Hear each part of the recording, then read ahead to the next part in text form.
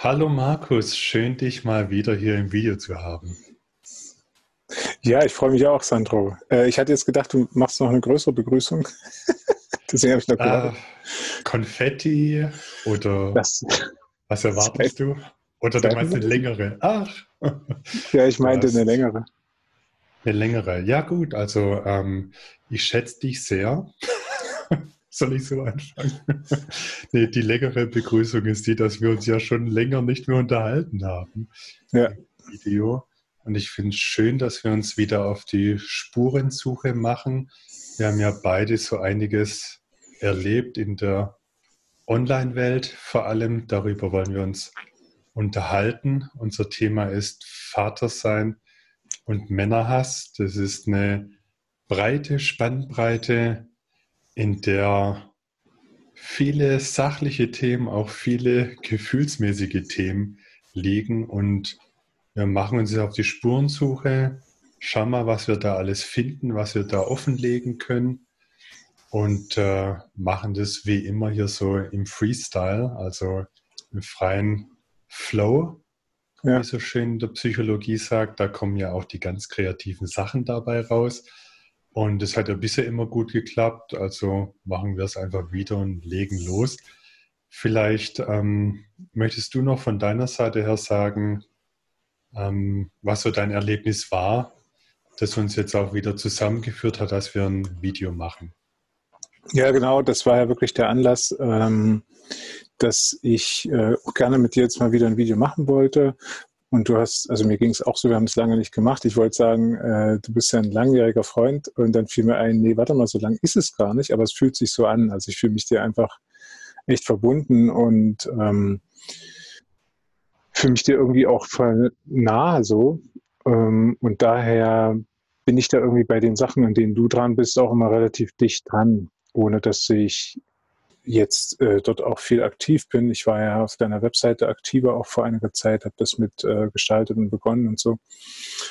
Und ja, das war mir erstmal wichtig zu sagen, dass ich mich dir auf jeden Fall sehr verbunden fühle und dem, was du machst und dass ich finde, dass du ähm, sehr mutig bist und ähm, wirklich immer, also immer ähm, radikaler.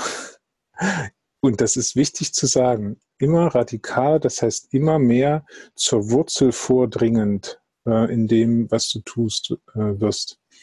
Und das, ähm, das fällt mir auf und ich betone eben auch, dass ich finde, dass du wirklich mutig bist, weil ich habe jetzt neulich festgestellt, dass ich einfach nicht so mutig bin und nicht so mutig war.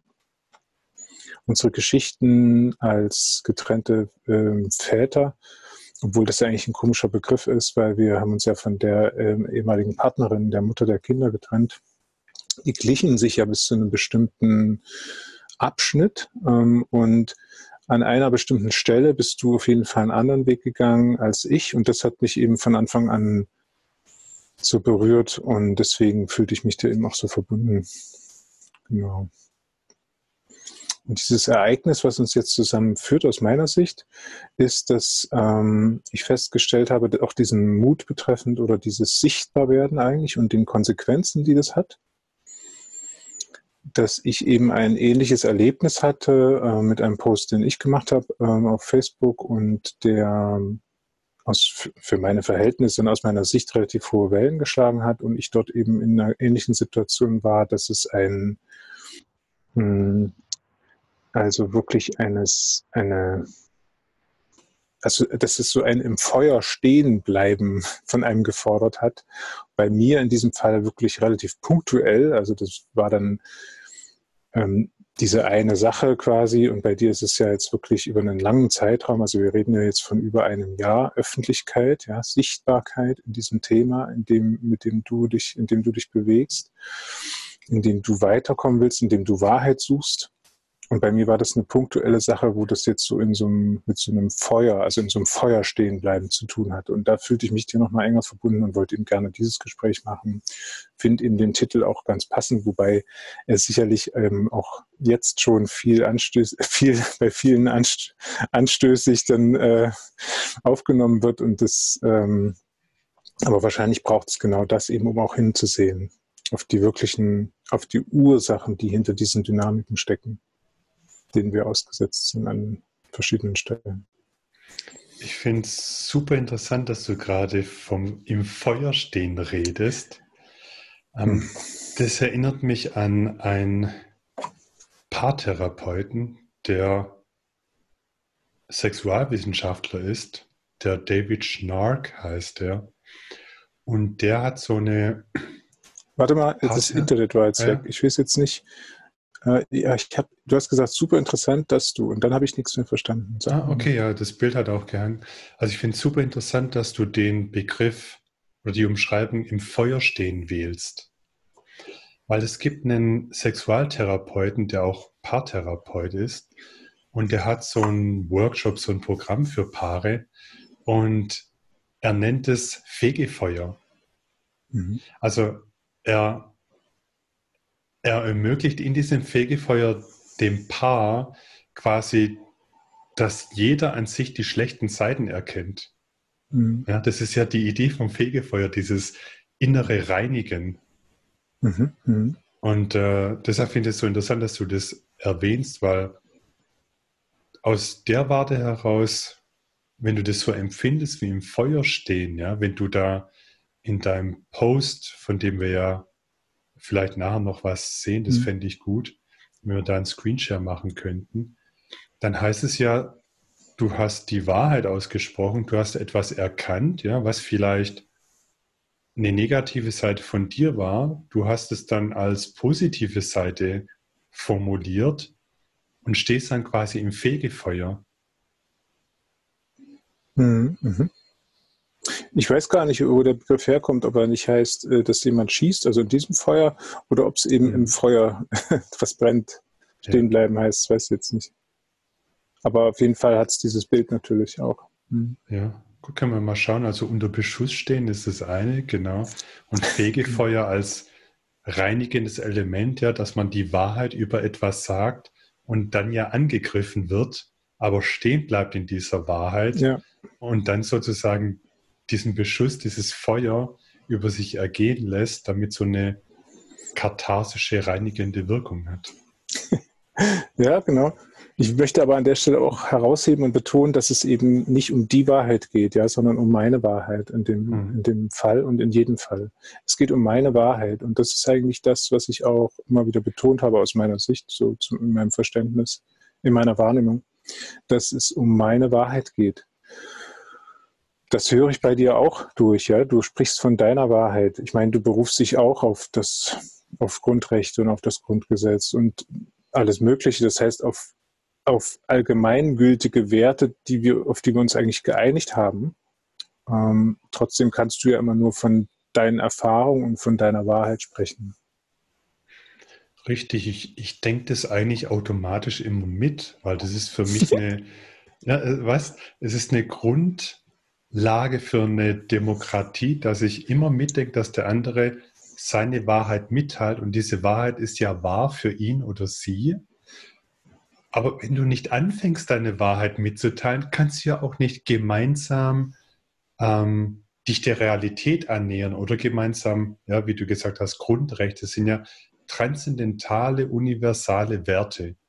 Ja wie sind wir in der Geschichte dazu gekommen? Durch sehr viel Schmerz. Ja, Deutschland hat sein Grundgesetz aufgrund der schlimmen Erfahrungen des Zweiten Weltkriegs und natürlich auch aus der Weimarer Republik her und Erster Weltkrieg, kann man ja lange zurückgehen. Da hat man diese allgemeingültigen Werte entwickelt, formuliert aus der Erfahrung heraus. Und meine Meinung ist, dass das Grundgesetz im Grunde bedingungslose Liebe ist. Ja, mhm. Deshalb setze ich mich auch so für die Gleichberechtigung ein. Ich, da mache ich jetzt ein großes Ding auf, das können wir später vielleicht nochmal vertiefen. Ja. Aber also es gibt schon, ich sage mal, diese universale Wahrheit wie Gleichberechtigung oder dass jeder das Recht auf Leben hat. Das sind universale Wahrheiten. Da lasse ich mir auch nicht sagen, das ist nur meine Meinung, sondern da stehe ich dafür ein, ja jeder, der behauptet, nein, nicht jeder Mensch hat das Recht auf Leben, da würde ich sagen, doch, das ist die universale Wahrheit. Und dann gibt es halt das, ja, wenn jetzt zum Beispiel in einem Land die Todesstrafe gilt, dann ist halt meine Meinung, dass es universalen Werten widerspricht. Es darf keine Todesstrafe geben. Andere sagen, doch, wir müssen das dann so vergelten, damit wieder Ausgleich und Gerechtigkeit herrscht.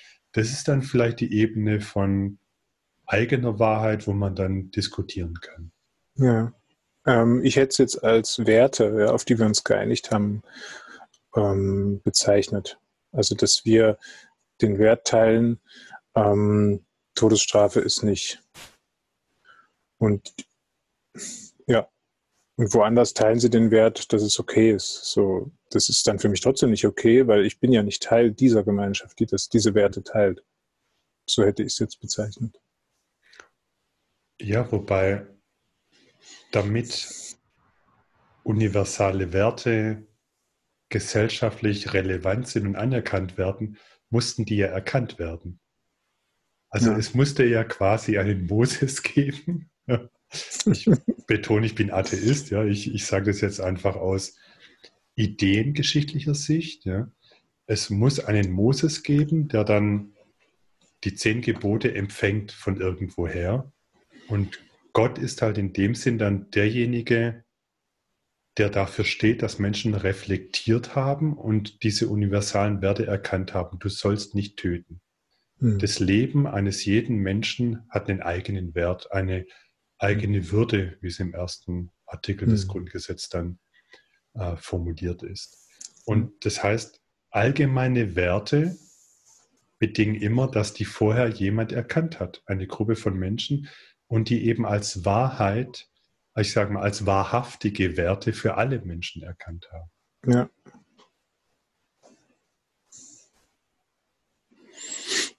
Ja, okay, ja, da kann ich mitgehen. Und da haben wir ja genau dieses Ring darum, was es jetzt war und genau. was teilen wir. Also so geht's, oder? Warum fällt das so schwer? Ich meine, weiß nicht, ob wir jetzt konkreter werden sollen in dem, was wir erlebt haben, aber aber was, was mir immer wieder, also was mir wirklich so brennt, ja, auf den Nägeln brennt, warum ist es so schwer, das einfach stehen zu lassen, wenn jemand seine Wahrheit äußert und nicht in den Angriff überzugehen? Warum passiert das immer wieder? Warum kommt dann dieser Angriff, warum diese Beleidigung, dieser hohen Häme, Spott, ja, also äh, Diffamierung, alles wird da ausgeschüttet. Also, warum ist das so schwer? Hm. Ich denke, da gibt es allgemein einige Antworten darauf. Was mir jetzt spontan einfällt, ist, dass du halt im Grunde vorherige Traumata weitergibst. Hm. Also das, was ich glaube, Blaise Pascal hat es doch gesagt, dass ähm, er auch das Recht auf Meinungsfreiheit von jemandem verteidigt, der nicht seiner Meinung ist. Das mhm. sind diese universalen Prinzipien. Wenn du aber diese universalen Prinzipien aufgibst zu deinem eigenen Nutzen, dann machst du das, weil du Angst hast, weil du etwas Schlimmes erlebt hast, wo jemand einen allgemeinen Wert für dich gebrochen hat, ja, oder dich gebrochen hat, und du glaubst jetzt nicht mehr an diesen Wert, und bist quasi auf der Ebene, wo du ums Überleben kämpfst, wo du mhm. jemanden angreifen musst, ja, in unserem Falle verbal, mhm. weil du etwas sagst, was die anderen unter Gefahr setzt. Und du und ich als Väter, die fürs Wechselmodell eintreten, also für die gleichberechtigte Elternschaft, sind natürlich den Eltern, Politikern, Frauen, Männern ein Dorn im Auge, die einen Eigennutzen daraus haben, dass diese gleichberechtigte Elternschaft in Deutschland noch nicht etabliert ist. Und es kommt ja. genau aus diesen vorherigen Erfahrungen heraus. Zum Beispiel ein Richter, der von seinem Vater geschlagen wurde, der jetzt Väter hasst, der Familienrichter wird, ja, um quasi Kindern zu helfen, die so blöde Väter haben, wie er mhm. sie einen hatte. Und da ist es sehr schwer, ja, wenn er seine eigene Kindheit nicht reflektiert hat, dass er nicht alle Väter als seinen Vater betrachtet und dadurch sie alle von vornherein durch seine persönliche Erfahrung vorverurteilt, ja, aus einem Vorurteil heraus dann Beschlüsse fasst. Mhm. Und an der Stelle, wenn man jetzt Richter ist, ist es ja wirklich also gefährlich, ja, fahrlässig eigentlich. Wenn man das nicht gemacht hat und wenn man da nicht frei von diesen persönlichen, ähm, ein, also diesen persönlichen Sachen ist. Und umso gefährlicher sind so Typen wie ich und ja auch du, ja, die radikal ja. für etwas einstehen. Und radikal heißt ja nicht extremistisch, das wird gern verwechselt. Ja. Mhm. Äh, man würde jetzt sagen, ja, da, der Markus und der Sandro, die sind ja radikale, radikale Federlobby oder sowas. Ja, das sind dann die typischen Vorwürfe. Nein, Rad ist die Wurzel. Wir dringen einfach immer mehr zu diesem Ursprung vor. Und wir sind nicht Extremisten, sondern wir sind da radikal. Wir lassen da nichts dran kommen an die allgemeinen Werte. Und dann bist du natürlich, je radikaler du wirst, ja, je klarer in deiner Wahrheit du wirst, umso gefährlicher für diejenigen, die vor dieser Wahrheit Angst haben, weil dieses Beispiel mit dem Richter, dessen Vater ihn geschlagen hat, wenn er jetzt erkennen müsste, ja, dass es allgemeine Werte gibt, die auch für die Väter gelten, denen er dann nachher die Kinder wegnimmt im Gerichtssaal, dann müsste er sich selber in Frage stellen. Er müsste diesen Hass, den er auf seinen Vater hat, in Frage stellen. Und müsste sich fragen, warum hat mein Vater mich so gehasst? Warum hat er mich geschlagen? Und dann wird er, so ist es, darauf kommen, dass sein Vater verständlicherweise vielleicht so war, weil er vielleicht geschlagen wurde von seinem Vater oder von seiner Mutter und es für ihn als Kind normal war, geschlagen zu werden. Und dann hat er das einfach weitergegeben und hat es nicht reflektiert, so wie es der Richter nicht reflektiert hat, dass seine Gewalt überträgt auf die Väter, denen er die Kinder wegnimmt. Und das mhm. ist das Gefährliche. So Menschen, die wie du und ich die Dinge hinterfragen, dann auch kritisch sind öffentlich oder wie du in deinem Post sagen, also Mann sein, Vater sein bedeutet für mich Folgendes. Und dann sprichst du Wahrheiten aus, die gefährlich sind, weil sie andere dazu zwingen, sich selbst zu hinterfragen. Und du agierst, so habe ich deinen Post verstanden, aus dem Standpunkt der Liebe heraus. Das heißt ja, die, die dich kritisieren, wollen ihren Hass nicht sehen. Ja, ja. Also ich will nochmal hervorheben, du sagst, geschlagen wurde. Ich denke, es muss ja nicht mal körperliche Gewalt gewesen sein. Ja, es reicht ja schon nicht gesehen worden sein oder ähm, es, es kann ja auch psychische Gewalt sein, quasi unsichtbare Gewalt. Das muss ja nicht körperlich gewesen sein. Weil jetzt bestimmt auch viele wahrscheinlich sagen, ja, aber ich wurde nicht geschlagen. Trotzdem finde ich, dass du extremistisch bist oder so. Was auch immer. Ja. Also ich möchte mal den Anfang vielleicht von meinem Post, wie mhm. gesagt, bei mir geht es ja wirklich um dieses singuläre äh, Ereignis. Ich will mal den Anfang kurz vorlesen und zeigen. Also, also rein, egal was dann kommt, aber rein schon wie, wie ich beginne. Ich sage, ich wünsche mir eine Welt. Ja. So, also das ist mein Wunsch. Ja. Ich wünsche mir eine Welt, in der wieder latenten und auch offenen Schuldzuweisungen nicht dem anderen Geschlecht zuteil werden lassen. Also das ist ja sogar erstmal frei von welchem Geschlecht. Ich auch nicht dem weiblichen Geschlecht. Also und dann geht es mir darum, eine Welt, in der meine Söhne, also ich wünsche mir eine Welt, in der meine Söhne in Freiheit aufwachsen dürfen, ohne per Geschlecht quasi schuldig zu sein. Und dann bringe ich eben so ein paar Argumente, die ich eben erlebe, indem, wenn ich mit Leuten spreche oder wenn ich Sachen lese oder äh, Kommentare erlebe oder so. Ja, ähm, ich, ich sage dann, dass es einen großen Schuldenberg gibt, ja, von quasi von beiden Seiten, ja, auf beiden Seiten. Dann sage ich, wir wollen etwas nicht sehen und da wird es interessant. Also ähm, da wurde viel Bezug drauf genommen. Also da kam dann viel mit Statistiken und dies und das. Also eigentlich ging es immer darum zu beweisen, dass ja doch die Männer irgendwie schuldiger sind.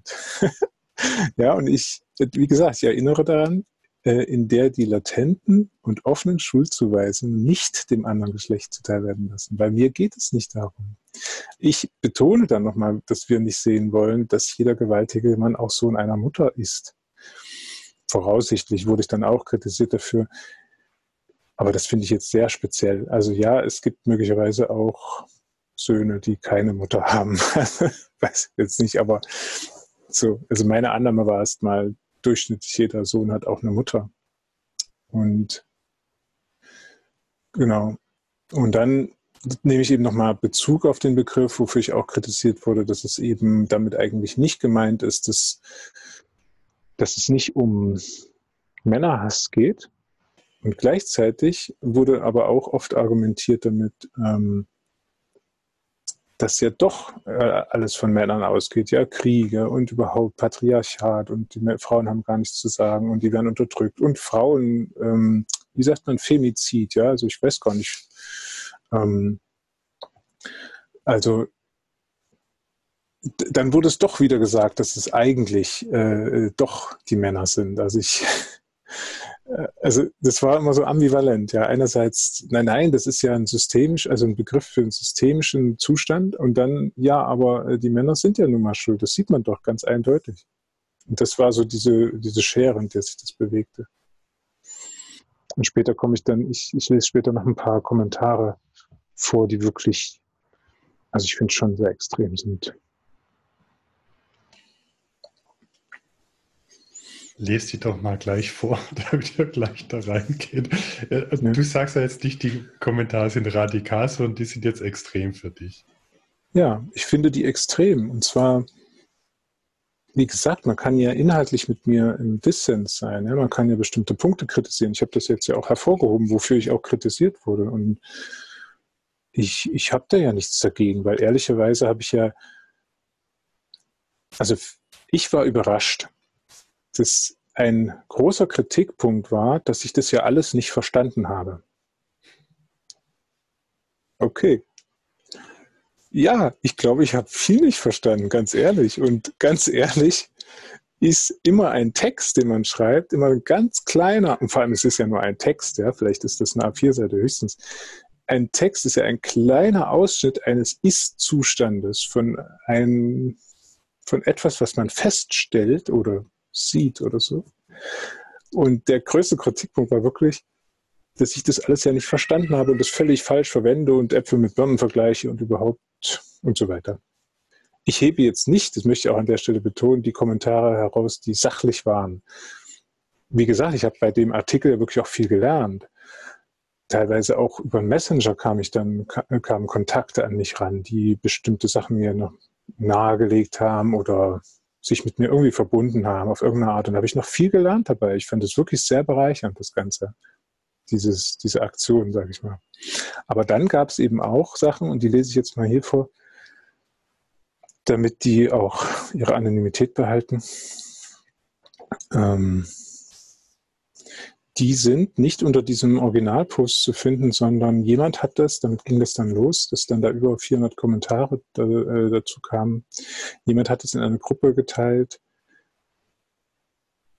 Ich weiß jetzt gerade den Namen nicht, könnte ich ja nochmal nachgucken. Einer sagt, äh, also einer war ganz aktiv, das ist Admin der Gruppe, ein Admin der Gruppe, der hat dann immer, also er hat gleich mein, meine Seite geteilt, meine, meine Internetseite und dort dieses über mich und hat da immer so Passagen rausgenommen, ja.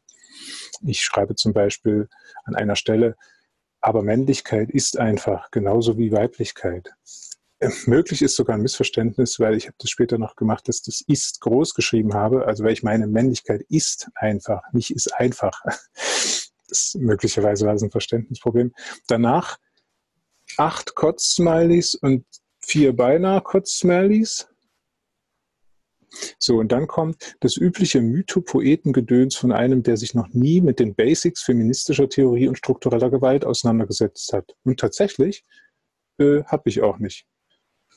Und da auch, auch offenbar keinen Bock drauf hat. Obendrein krasse Leugnung und Abwehr von Diversität und Intersektionalität. Also würde ich mal sagen, das war jetzt nicht direkt äh, Thema meines Posts. Aber okay hier mehr Background-Infos zu Markus Hond, wisst ihr Bescheid. Und dann hat er es verlinkt. Eine andere Sache, hatte auch jemand äh, was, also ich muss sagen, dieses Über mich auf meiner Seite ist wirklich sehr persönlich. Ja, das ist sehr, sehr intim. Also da habe ich auch lange gezögert, ob ich das so veröffentliche, weil es ist wirklich ein Stück weit Aufräumen oder Bewältigung auch von meiner, von meinem Leben, von meiner Vergangenheit. Ja, also das, was ich erlebt habe, was mir begegnet ist, ja, das da nehmen andere dann noch Bezug auch. Und da sagt jemand auch nochmal ähm, ein Zitat. Ach so, ist auch der Admin. Ich nehme Dinge in dir wahr, noch bevor du sie wahrnimmst. Ja, das ist tatsächlich kommt es daher, dass ich ähm, Grenz, viele Grenzüberschreitungen in meinem Leben erlebt habe. Und das hatte zur Folge, dass ich jetzt wirklich eine Fähigkeit habe, Gefühle von anderen wahrzunehmen. Und die eigentlich, das war quasi das, was sich schwierig auf mein Leben ausgewirkt hatte. Ähm, ich, also ich das Gefühl hatte, das sind meine Gefühle, aber es sind gar nicht meine, habe ich irgendwann erkannt. Und ich merkte, dass das was mit diesen erlebten Grenzverletzungen zu tun hat. Und das habe ich eben so geschrieben und jemand, und der sagt dann weiterhin, boah, wie gruselig, watch your drink if Markus is around. Und jemand schreibt darauf den Kommentar, drei Lachsmiles, ich mache gleich in die Hose. Und jemand anderes noch, vielleicht ein Schamane. Und dann immer überall Lach, Lachsmileys äh, äh kommen hier so geliked. Also das heißt wirklich dieses Verhöhnen und dieses sich lustig machen über wirklich eine sehr intime Offenlegung von dem, wie es mir ergangen ist und wie es was ich für ein Mensch bin. Das ist also unfassbar. Soll ich noch weitermachen oder wollen wir später noch mehr machen?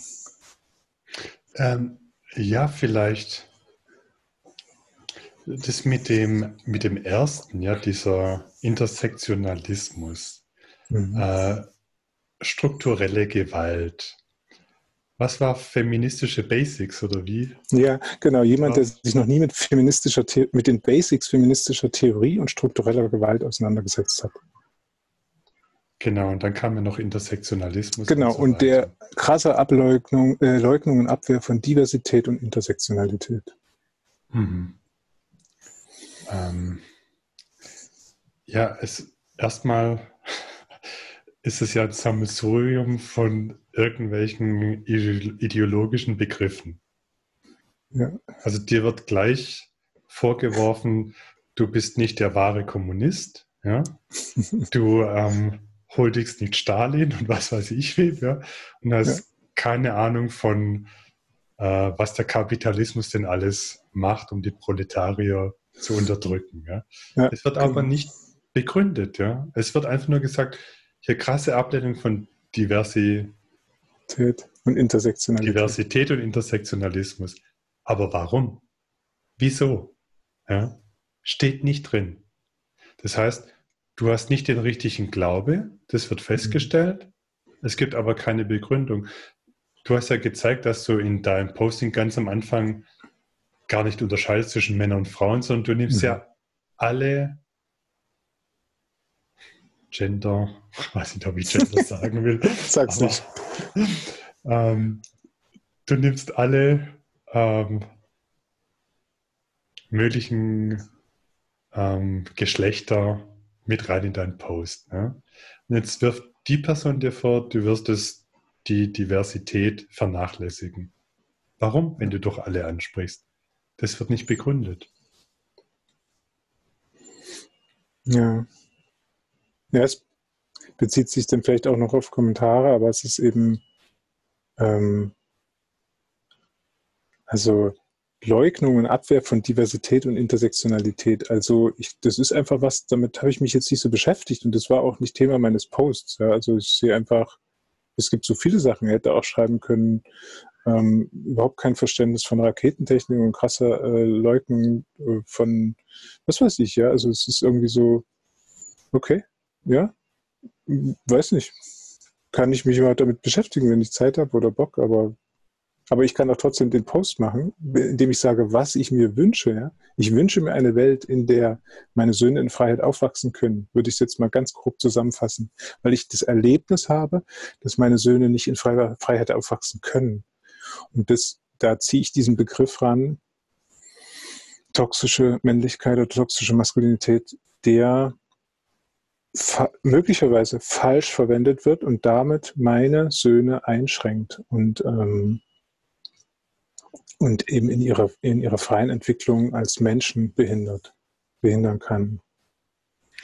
Ja, der, der Kommentar mit dem feministischen Basics und struktureller Unterdrückung zielt natürlich auf den Begriff toxische Männlichkeit. Ja, genau. Also im Grunde sagt ja dieser Kommentar, du hättest keine Ahnung, was mit toxischer Männlichkeit gemeint ist. Genau, ja. Und der Kommentar sagt ja, toxische Männlichkeit ist, also verstehe ich den Kommentar, ist analog zu Patriarchat.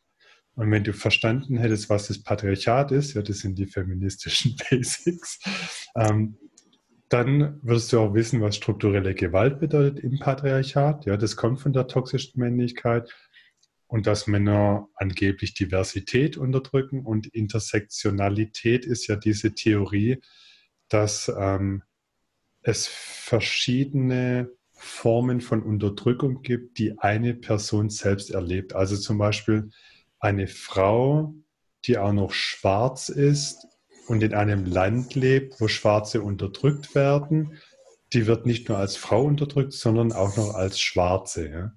Mhm. Wenn diese Frau jetzt auch noch eine Behinderung hat, dann wird sie auch noch als Behinderte unterdrückt. Das heißt, die hat sozusagen drei Unterdrückungsaspekte. Das ist die Intersektionalität, also diese die Sektionen der Unterdrückung, die ineinander greifen. Ah, das habe ich. Ich habe noch nicht mal mich mit dem Begriff jetzt im Nachhinein beschäftigt. Das ist ja noch krasser eigentlich jetzt, wo du mir das eröffnest. Genau. Und das Abstruse an dem Intersektionalismus ist aber, du kannst das Spiel ja unendlich weit treiben, ja? ja. Weil dann sagst du, okay, sie ist eine Frau, sie ist schwarz, vielleicht unterdrücke ich sie ja schon, wenn ich jetzt schwarz sage, ja. Dunkelhäutig, farbig, wie auch immer, ja. Dann hat sie noch eine Behinderung. Ähm, vielleicht hat sie ja noch ein Kind, ja, und ist alleinerziehend ja. und ähm, hat keinen Hochschulabschluss und so weiter. Also du kannst aus, du kannst im Grunde bei jedem Menschen beliebig viele, ähm, ich sage mal, Konfigurationsmöglichkeiten der Unterdrückung anwenden oder Parameter, Kriterien. Und wo endest du dann am Ende? Beim Individuum. Dann sagst du eigentlich, ja, jeder ist anders. Aber der Intersektionalismus kommt von dem Punkt, dass die sagen, es gibt Gruppen, die unterdrückt werden. Mhm. So wie der Kommunist gesagt hat, die Kapitalisten unterdrücken die Proletarier, ja, das arbeitende Volk, sagen jetzt die, die die feministischen Basics drauf haben, ja, die sagen, die Männer unterdrücken die Frauen, aber dann unterdrücken die Weißen auch die Schwarzen, die angeblich Nichtbehinderten unterdrücken die Behinderten und so weiter. Das ist ein Gruppendenken.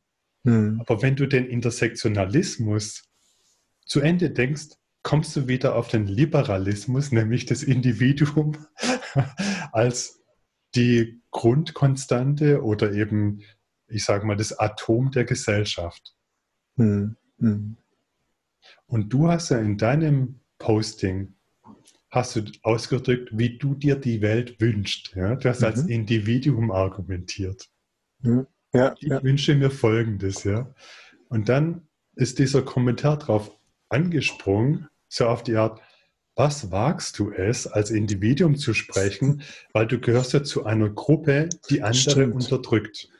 Alte, Wei ach so alt bin ich noch nicht, aber weiße, äh, äh, äh, wütende Männer. Weißer, alter, wütender Mann. Das passt. Okay. Ja, ey, komm, du bist älter, oder? Aber ich bin heute weißer als du. Du bist weißer, ich bin wütend. Das heißt, das heißt, wenn ich also im Sinne der Intersektionalismus, Intersektionalismus ähm, wenn ich quasi dieser Gruppe alter, weißer, ärgerlicher Mann, also wütender Mann angehöre, dann habe ich nicht das Recht zu formulieren, was ich mir für eine Welt wünsche, Genau, weil dein Wunsch quasi automatisch Unterdrückung ist. Wenn du sagst, ah, okay. du willst, dass deine Söhne frei aufwachsen, ja.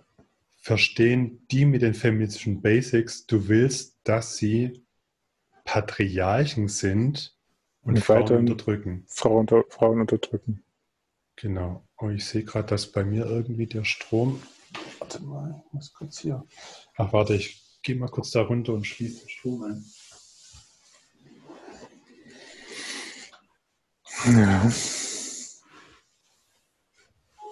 Also, da bin ich wieder. Die Steckdose unter dem Schreibtisch. Und das ist ja ein Problem, weil ähm, genau das habe ich nämlich gefühlt. Ich konnte es jetzt noch nicht so gut benennen bis jetzt, aber genau so habe ich mich gefühlt. Ich habe immer wieder betont, ich habe da sieben Stunden mit Kommentieren zugebracht nach diesem Post. Absichtlich, absichtlich, weil ich wollte das gerne wirklich durchsteigen, was da passiert. Ähm, und ich habe mich immer wieder so gefühlt, als habe ich nicht das Recht zu äußern, was ich mir wünsche und was ich mir für eine Freiheit für mich und für meine Söhne äh, wünsche. Und ich habe immer wieder betont, dass diese meine Freiheit natürlich niemand des anderen Freiheit beeinträchtigen soll. Das habe ich auch im Post am Ende noch formuliert, explizit. Ja, ich ähm, habe am Ende formuliert, ähm, mir ist klar, dass es nicht männlich in Anführungszeichen ist. Und dann habe ich ihm so ein paar Sachen aufgezählt, die natürlich ähm, pathologisch sind. Ja? Und ähm, trotzdem äh, geht es darum nicht, sondern es geht nur darum, dass ich keine Privilegien aufgeben will, weil ich mich, weil ich ja ein weißer, ähm, älterer, wütender Mann in einem Patriarchat bin und deswegen das auch nicht verstehen will und abwehre und leugne, dass es, äh, bestimmte Menschen unterdrückt sind. Das, das, ist eine Aussichts, das ist ja eine aussichtslose Ausgangslage. Für dich ja, weil mhm. du bist ja gefangen in der Ideologie. Mhm. Du bist ein Unterdrücker im Patriarchat. Also man hat die Bösen ausgemacht, das sind die alten, weißen, wütenden Männer. Das ist so. Eine Ideologie postuliert einfach, wer die Bösen sind. Mhm. Bei den Kommunisten waren die Kapitalisten die Bösen, für die Feministinnen sind es die Männer. Wobei es da auch unterschiedlichen Feminismus gibt. Es gibt den Gleichberechtigungsfeminismus, der ist noch Teil der liberalen Vorstellung. Das, was Grundrechte sind, ja. Die Grundberechtigungsfeministen und Feministinnen wollten einfach nur, dass Frauen gleichberechtigt sind. Das muss man an der Stelle wirklich mal hervorheben. Es geht ja nicht darum, dass der Feminismus an sich falsch war oder ist. Denn die, die Grundlagen davon sind natürlich, also die, so wie es entstanden ist, ist natürlich gut, ja? wenn es um die Gleichberechtigung oder beziehungsweise die gleichen Voraussetzungen für jeden Menschen einer Gesellschaft geben soll, wenn es darum geht. Genau, aber was wir heute haben, ist der Gleichstellungsfeminismus der hat in Politik, ja, das, was die Katharina Barley oder vor allem auch die Franziska Giffey zurzeit so alles von sich gibt, das ist Gleichstellungsfeminismus. Und die verwenden ja auch immer das Wort Gleichstellung. Mhm. Man sagt, man will eine Quote im Bundestag, dass 50 Prozent Frauen im Bundestag sind und 50 Prozent Männer. Ja. Und das hat nichts mehr mit Gleichberechtigung zu tun. Gleichberechtigung heißt, wir haben alle die gleichen Chancen. Ja. Gleichstellung heißt, es soll uns allen gleich gehen. Mhm. Und Gleichstellung ist nichts anderes als Kommunismus. Und dann bist du jetzt aber nicht der weiße, ältere, wütende Mann, der seine Privilegien nicht aufgeben und beziehungsweise sein Bundestagsmandat nicht aufgeben will, der sagt, nee, hier sollen nicht so viele Frauen, ich will hier. Oder was bist du das dann nicht, oder was? Na, im Grunde ist es ja ein Ständeparlament, was man da will. Und dann kommt ja auch wieder das Problem mit dem Intersektionalismus rein. Ja. Wenn man sagt, 50% Männer, 50% Frauen, kann man schon mal fragen, okay, ist es wirklich 50-50 in Deutschland oder muss es ein Überhangmandat werden, weil, es doch 50,003% Männer sind und Frauen, ja? Und dann kommen die Transgender-Leute und sagen, Moment. Nee, Moment. Ja? 50 Prozent. Also, Wir also, wollen auch 50 Prozent ich war mal Mann und wurde zur Frau umoperiert. Darf ich jetzt als Mann ins Parlament oder als Frau? Ja. ja. Männer sind schon voll, aber da du dich hier umoperieren lassen hast, kannst du als Frau kandidieren. Macht auch schon mal keinen Sinn. Und dann kannst du weitermachen. Das ist das gleiche Problem wie beim Intersektionalismus. Was ist denn jetzt bitte mit denen, die Frauen sind, aber sich als Männer fühlen, die sich nicht umoperieren haben lassen? Mhm. Was ist mit rothaarigen Frauen? Frauen mit braunen Haaren? Frauen mit blonden Haaren? Oder Frauen, die eine Behinderung haben? Männer, die eine Behinderung haben? Wie wollen wir das Ganze im Parlament abbilden? Hm. das, die Fragen wirst du, also das ist genau das kommunistische Problem, ja. Wenn du sagst, die eine Gruppe unterdrückt die andere und wir wollen jetzt Gleichstellung, hm. dann kommt nochmal eine Gruppe und sagt, ja, wir sind aber auch unterdrückt. Dann kommt nochmal eine und sagt, wir sind auch unterdrückt. Und wenn du es allen gleich recht machen willst, bist du bei der Gleichmacherei. Und das, ah, wir kennen es ja von der DDR her, wohin das geführt hat.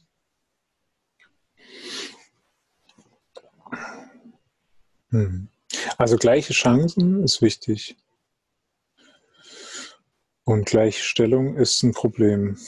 Also ich sehe es auch so. Sagen wir mal, ich stelle mir jetzt vor, ich wäre eine Frau und würde aufgrund meines Geschlechtes eine bestimmte Position beziehen. Also ich habe überhaupt kein Interesse, irgendeine bestimmte Position bezie zu beziehen übrigens. Ja? Also ich bin in keinem Vorstand äh, von einem DAX-notierten Unternehmen.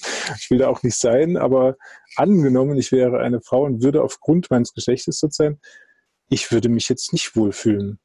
Äh, ich weiß nicht, ob ich das jetzt als Mann sagen kann, aber ich, wie gesagt, ich habe ja kein Privileg davon. Ich denke nur einfach ganz klar, habe ich das Gefühl, ich woll, würde es nicht wollen. Es würde sich ganz unangenehm anfühlen. Aber das kann ja, ich nee. natürlich jetzt nur aus der Entfernung sagen. Ja, das Beispiel mit dem Bundestag. Warum sind da mehr Männer? Also ich zum Beispiel, ich will nie Politiker werden. Ich finde es einen total scheiß Job, ja, weil es ist super stressig. Du musst manchmal eine Meinung vertreten und eine politische Haltung, die du gar nicht hast, aber für die Fraktion ist es wichtig, dass du die auch hast. Du musst dich ständig verleugnen. Du musst vor den Medien ein bestimmtes Image abgeben. Du kannst gar nicht authentisch sein. Du bist mhm. nonstop unterwegs, kannst deine Kinder kaum sehen, musst noch am Sonntag um 16 Uhr zu irgendeinem Termin gehen. So ein Job finde ich total übel, den will ich nicht machen. Und ich verstehe jede Frau, die sagt, will ich nicht machen. Ich bleibe lieber bei meinen Kindern, verbringe mit denen Zeit, als so einen Politikerjob zu machen. Ich würde auch viel lieber ständig Zeit mit meinen Kindern verbringen, als irgendeinen Job zu machen, vor allem kein Politikerjob. Aber jetzt kommen die Feministinnen, ja, die Gleichstellungsfeministen, nicht die Gleichberechtigungsfeministinnen. Die Gleichstellungsfeministinnen aller Franziska Giffey und auch Katharina Barley und sagen, wir wollen Parität im Bundestag, 50-50. Mhm. Und es macht einfach keinen Sinn, weil, und das ist das Problem, das du vielleicht ansprichst, na dann kommen da Frauen im Bundestag, die einfach dadurch, dass sie gar nicht so viel Zeit verwendet haben auf den Beruf, ja, weil sie es gar nicht wollten, vielleicht auch gar nicht so kompetent sind, wie es ein vergleichbarer Mann wäre, der gewählt wird. Und auch von den Meinungen her, weißt du, Politiker hat ein bestimmtes Spezialgebiet. Jetzt arbeitet er sich da ein in seinem Kreis und so weiter. Und dann sollte, dann will der in seinem Kreis, wollen die den wählen, ja, weil der sich in dem Bereich, der für den Kreis am wichtigsten ist, super auskennt, ja, was er sich, Kohle, Industrialisierung, IT, wie auch immer. Aber jetzt kann der nicht gewählt werden, weil die Männerquote schon erfüllt ist. Jetzt muss man eine Frau wählen, wo man nicht weiß, ob die diese Qualifizierung hat, aber sie muss als Frau rein. Und das ist ja das, das, da traut sich, das traut sich ja keiner zu sagen, weil das ist ja auch das, woran der Kommunismus kaputt gegangen ist. Durch die Gleichstellung haben die sich halt immer überlegt, nee, der ist Kapitalist, den holen wir da nicht rein, wir holen den Proletarier rein der ist Kapitalist, den tun wir nicht ins Management, wir tun den Proletarier rein. Der ist Kapitalist, nee, wir tun meinen Parteifreund in diese Managementposition, weil der ist kein Kapitalist, ja. Und so hast du immer mehr Leute in Schlüsselpositionen gehabt, die die Kompetenz nicht hatten. Mhm. Und dann ist das Ganze mhm. zusammengebrochen. Mhm. Ja, ich höre schon den Aufschrei, ne? Du sagst, Frauen haben nicht die Kompetenzen wie Männer. Das ist dann der Vorwurf, genau. Also ich denke, was es gibt ja so, es gab ja diese, ähm, diese wissenschaftliche Untersuchung in, in skandinavischen Ländern. Man hat sich angeschaut, welche Länder sind denn am weitesten mit der Gleichberechtigung und Gleichstellung und das sind die skandinavischen Länder. Da gibt es so einen mhm. Index, nach dem die eingeordnet werden. Dann hat man sich angeschaut, okay, in den Ländern, die weit vorne sind in der Gleichberechtigung oder sogar Gleichstellung, welche Jobs wählen denn da die Geschlechter? Und in den Ländern, wo die Gleichberechtigung, sage ich jetzt mal, am weitesten ist, wählen die meisten Frauen typische Frauenberufe und die meisten Männer typische Männerberufe. In den Ländern, wo aber die Gleichberechtigung sehr niedrig ist, wie Iran zum Beispiel, machen mhm. mehr Frauen diese STEM-Berufe wie Mathematik, Ingenieurwesen und so weiter, als in den skandinavischen Ländern. Mhm. Und das heißt, je mehr die Geschlechter die gleichen Chancen haben, mhm. umso mehr wählen sie die geschlechtertypischen Berufe, weil es etwas gibt, einen Faktor, den man nicht wegreden kann. Und das ist Biologie. Mhm. Und Frauen und Männer haben einfach von der Kindheit her schon ganz andere ähm, Ausrichtungen. Zum Beispiel der Gerald Hüther, dieser Neurowissenschaftler, mhm. da gibt es auf YouTube einen tollen Vortrag von dem, warum Jungs und Mädchen unterschiedlich sind. Ja. Er sagt, dass kleine Babys, die schauen dir immer in die Augen, die Mädchen. Und die Jungs als Babys, die schauen rum. Ja. ja? Die was sich bewegt, sich was Raum. durch den Raum geht. Ja. Genau. Und das zeigt schon, dass vom Gehirn her die Mädchen, die Babymädchen, ja, in die Bindung gehen und die Jungs ins Räumliche. Hm. Er begründet das, das ja auch schön, genau, er begründet das auch schön, finde ich, dass er eben sagt, dieses Gehirn befindet sich in einem hormonell anderen Milieu. Es muss sich einfach anders entwickeln. Genau. Jetzt kommt aber das Problem. Es wird so interpretiert, dass die Mädchen empathisch sind, weil sie schauen dich an als mhm. kleines mhm. Baby. Bei den Jungs als Baby, die in den Raum schauen und quasi ihr räumliches Sehen trainieren und sich an Dingen orientieren, sagt man, die sind nicht empathisch. Die mhm. haben ein Defizit. Dabei haben mhm. Jungs den Vorteil, dass sie sich halt räumlich schneller orientieren als Mädchen in einer sehr frühen Phase. Und mhm. daher kommt es auch, dass Mädchen sich eher mit Menschen beschäftigen. Ja, das ist neurologisch angelegt. Und Jungs eher mit Sachen. Mhm. Deshalb werden Frauen auch lieber äh, Medizinerinnen. Ja? Da, da haben Frauen einen Überhang am Krankenhaus, auch in der Erziehung. Während Männer eher Autos bauen, Raketen, Computerprogramme programmieren, die beschäftigen sich eher mit Dingen oder abstrakten Sachen wie Software zum Beispiel. Mhm. Ja, ich finde es schön, wenn jemand von so einem Rang äh, und so einem wissenschaftlichen Standing in solche Sachen irgendwie auch begründen kann. Bei mir als Live fällt es halt schwer. Ich habe meine Erfahrung als Vater, die das unterstützen, aber die sind halt statistisch jetzt nicht relevant. Und ich will mich da auch nicht festnageln lassen, weil ich mache einfach die Erfahrung. Punkt. Ich sehe Früher dachte ich auch, äh, dieses Fußballspielen und beim Bagger stehen bleiben und Autos mögen, das ist sozialisiert, ja. Aber als ich dann Vater wurde, merkte ich, nee, das ist nicht sozialisiert. Ich, ich kann mit Autos nichts anfangen. Ich hasse Fußball.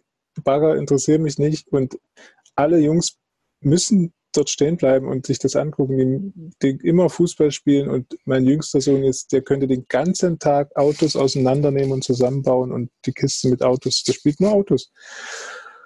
Das, das ist nicht sozialisiert, das ist viel zu früh. Also es kann nicht sein, weil ich damit auch überhaupt keine Verbindung habe es ist immer noch nicht statistisch relevant und natürlich gibt es auch die Mädchen, die mit Autos spielen und die Jungs, die mit Menschen können und Puppen spielen. Also das ist ja jetzt kein Schwarz-Weiß, was wir betreiben, sondern es ist nur eine Spurensuche. Ja? Es ist nur ein, was nehmen wir wahr, was ist äh, oder was wird begründet irgendwie durch, durch Wissenschaft und so weiter. Also es ist, ja. Ja, man muss natürlich immer aufpassen bei so Biologismen, ja, das, was der Gerald Hüther da sagt was er aus der Neurowissenschaft heraus ableitet, da muss man mal aufpassen. Ja? Also wir sind ja auch nicht reproduzierbar auf unser biologisches hm. Wesen. Hm. Und äh, ich selber denke, dass es, also ich kenne ja auch Frauen, die in den äh, STEM-Feldern sind, ja, Programmiererinnen. Hm. Und äh, also das sind auch keine Frauen, die jetzt nicht feminin sind, ja. Also Manche davon sind super feminin, würde ich jetzt mal sagen. Hm. Andere wieder sind weniger feminin, ja, die haben vielleicht eher was Männliches. Und ich, ich glaube, so das Interessante ist, was ist biologisch determiniert und determiniert es uns wirklich, ja? Und was sind die Archetypen? Also was ist das, was ähm, über die Evolution Teil unserer Gesellschaft geworden ist? Zum Beispiel Ratten haben Angst vor Katzen. Selbst eine Ratte, die in ihrem Leben noch nie eine Katze gesehen hat, wenn du die mit Katzenduft besprühst, kriegt die Angst. Hm. Das ist bei ihr instinktiv ist es der Archetyp Katze als Gefahr da, ja, wenn die den Geruch wahrnimmt.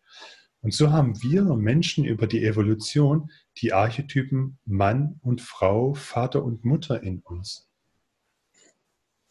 Und dann ja. ist die Frage als Frau, weißt, wie viel von dem Archetypen Mann kann ich übernehmen, um eine komplettere Person zu werden?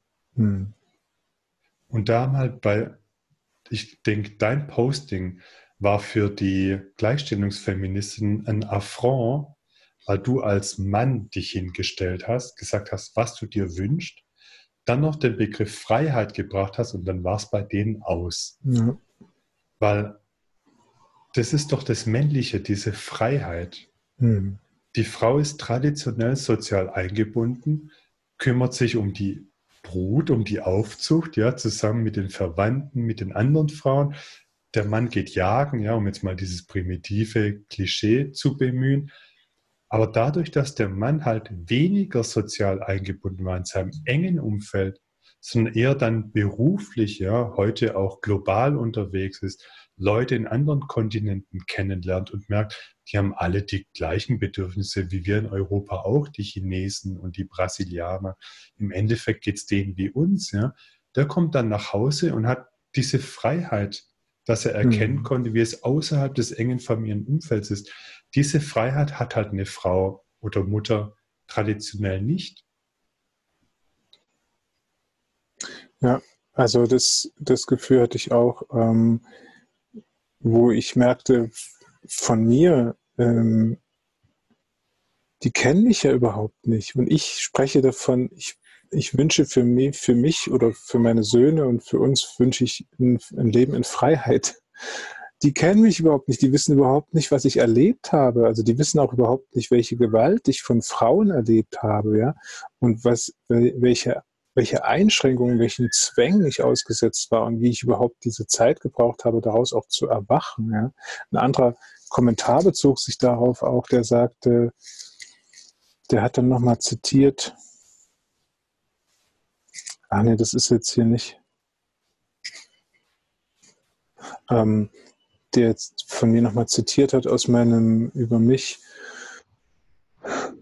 wo ich sagte, dass ich drei Jahrzehnte gebraucht habe, um zu einem Nein zu finden, um wieder zu einem Nein zu finden oder überhaupt zu einem Nein. Ja, also wirklich in meinem Leben war es ein signifikanter Einschnitt, die Trennung von der Mutter der meisten meiner Kinder, was ein Nein ist, ja, ein Nein zu dieser Partnerschaft, ein Nein zu dieser Frau. Und das konnte ich nicht. Also ich war da ja auch fast ein Jahrzehnt drin.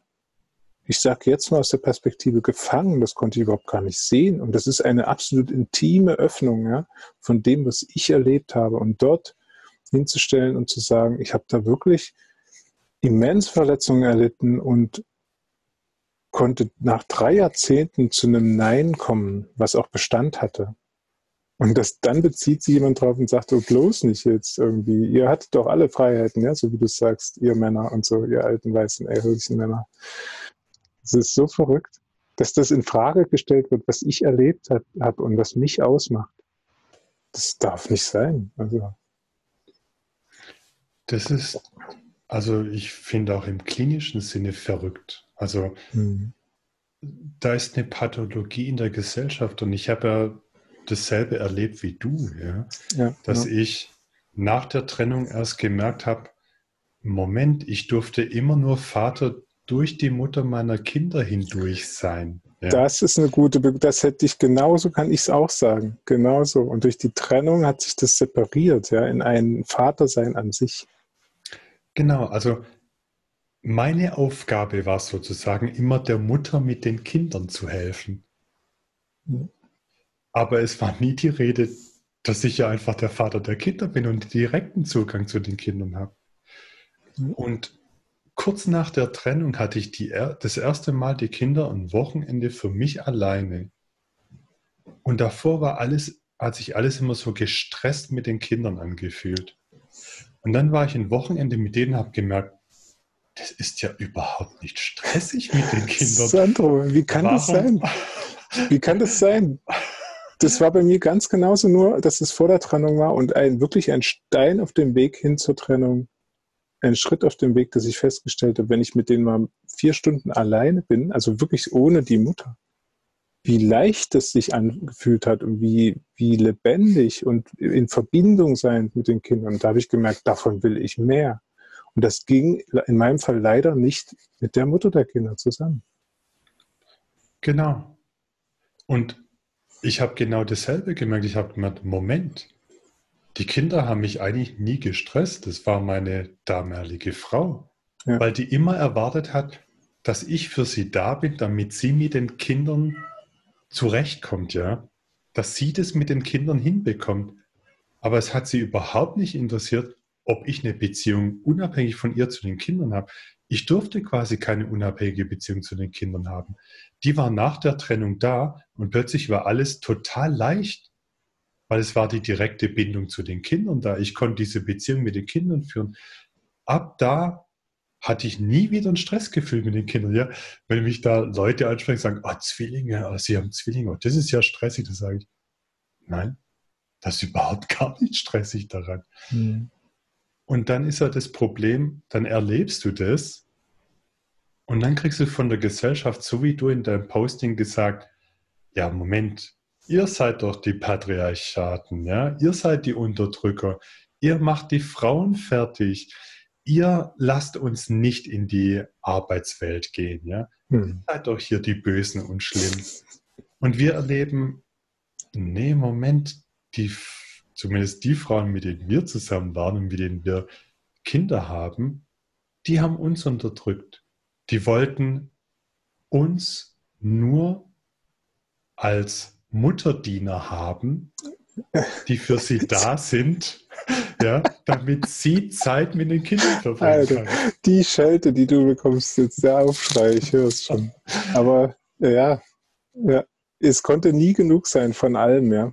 Es konnte nie genug Geld, nie genug Arbeit sein, nie, nie genug da sein, nie genug Arbeiten zu Hause machen, nie genug im Garten gießen, nie genug irgendwas einkaufen. Alles kann nie genug sein. Ja, und dann Du dummer, dummer, alter, weißer, wütender Mann, befreist du dich daraus? Na, dann kommen wir jetzt mit unser Gleichstellungsfeminismus und knüppeln dich erst recht zusammen, damit du bitte schön klein bleibst, Unterhalt zahlst, weil es gibt so viele, extrem viele Unterhaltsbrenner in Deutschland. Ja. Das und das ist ja Gewalt. Das ist, das ist ja Gewalt. Ja, du meinst halt das, was dann die Ideologie mit dir macht. Ich meine, so, der äh, Unterhalt. Ja, ja, genau. Das ist ja jetzt seit neuestem ist es Gewalt. Wenn man zu wenig Geld hat, um Kindesunterhalt zu zahlen, ist man ja. Gewalttäter. Genau. Ja. Aber die Gewalt. Auch wenn man, wenn man zum Beispiel fast 50 Prozent die Kinder betreut, aber es ist trotzdem Gewalt. Ja. Genau, wenn du jetzt 49 Prozent die Kinder betreust, musst du immer noch den vollen Kindesunterhalt zahlen. Das ja. ist ja richtig so, weil du bist ja zu 100% ein alter, weißer, wütender Mann, aber nur zu 49% Vater. Also, was willst du? Ja. Und übrigens, nicht nur ich bin äh, dumm und ähm, sondern auch, jemand schrieb dann auch, ich lese nochmal weiter, äh, manchmal ärgere ich mich heimlich, dass ich nicht so ein strunzdummer Esoteriker bin und einen Haufen Kohle an noch dümmere Esus verdiene. An noch dümmeren Esus verdiene. Dann gibt es drunter ein Kommentar. Ja, ja. Plötzlich waren alles Esoteriker. Also aufgrund meines Posts und meines Übermichs auf meiner Seite waren wir alles strunzdumme Esoteriker. Und ich verdiene übrigens einen Haufen Kohle an noch dümmeren Esus. was mich überrascht, weil ich weiß gar nicht, wo die hinfließt, die Kohle. Ich sehe die gar nicht. und jemand beantwortet das, ja, dieser Thread dort ist unerträglich. Esoterisches Ego-Versum. Und jemand drunter noch, er präsentiert sich als der neue Messias. Sandro, mhm. ich habe dich überholt. Ich bin der neue Messias. Ich bin anerkannt.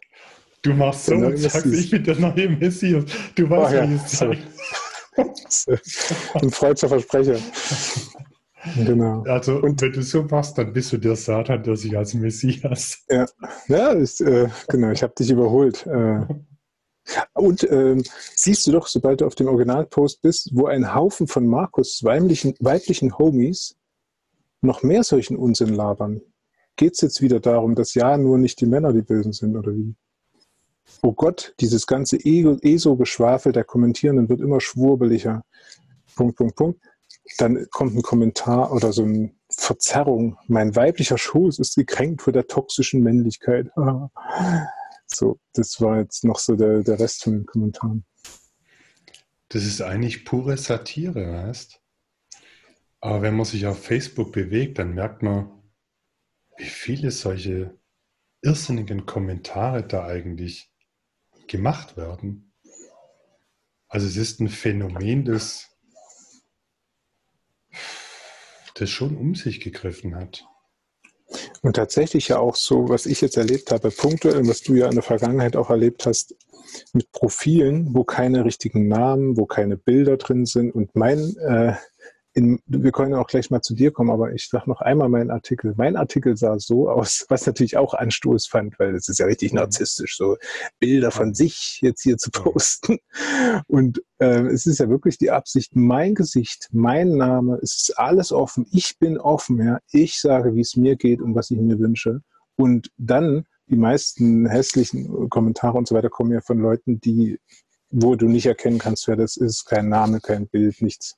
Das hast du ja auch viel erlebt. Ja, diese Fake-Profile.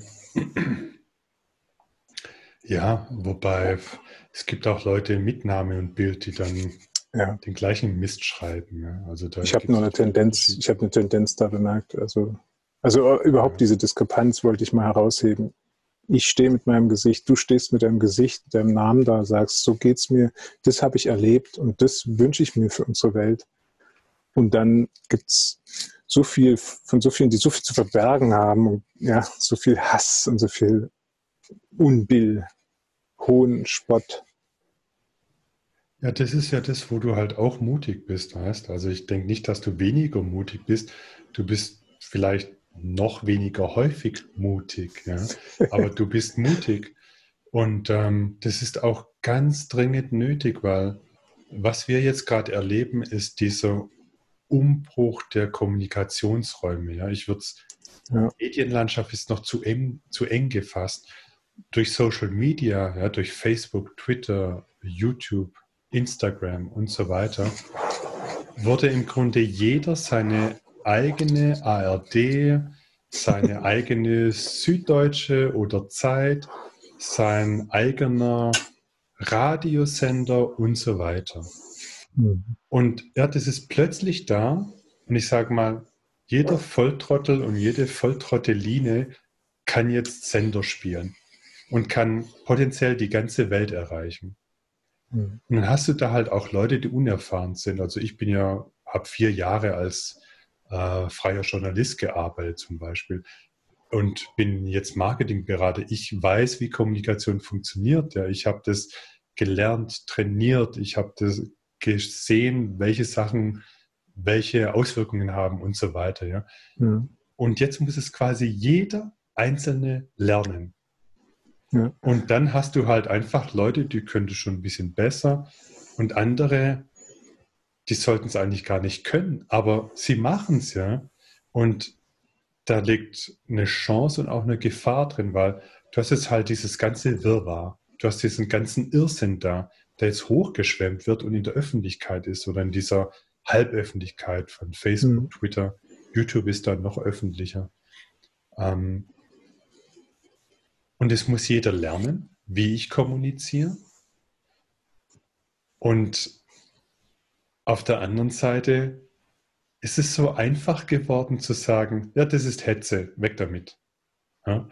Und mhm. wenn du dann halt in einer Gruppe drin bist, wo ein Admin findet, das ist Hetze, was du da schreibst, ja, obwohl du ganz sachlich was darstellst, dann kicken die dich raus.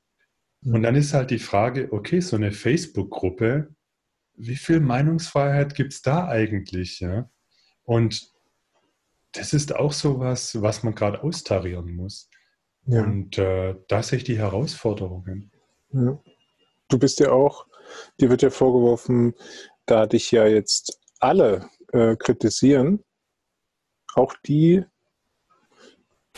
äh, die dir wohlgesonnen sind, also auch ich, wobei ich mich jetzt gar nicht erinnern kann, aber ähm, jemand hat es ja ähm, getwittert, ne, dass da dich jetzt alle äh, kritisieren, solltest du ja darüber nachdenken, ob das, was du da machst, vielleicht nicht doch falsch ist.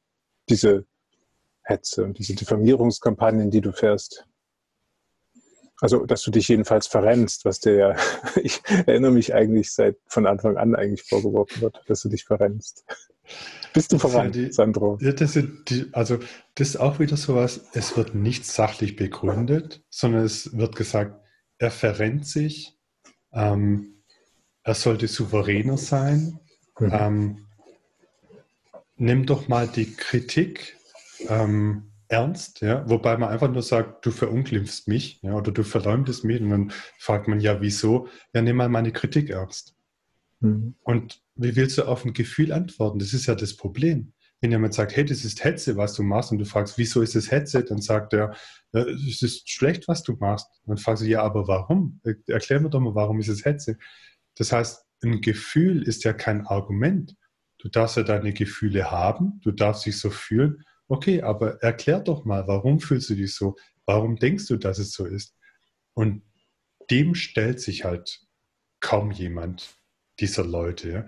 weil dann hinterfragst du die ja und die fühlen sich noch mehr angegriffen.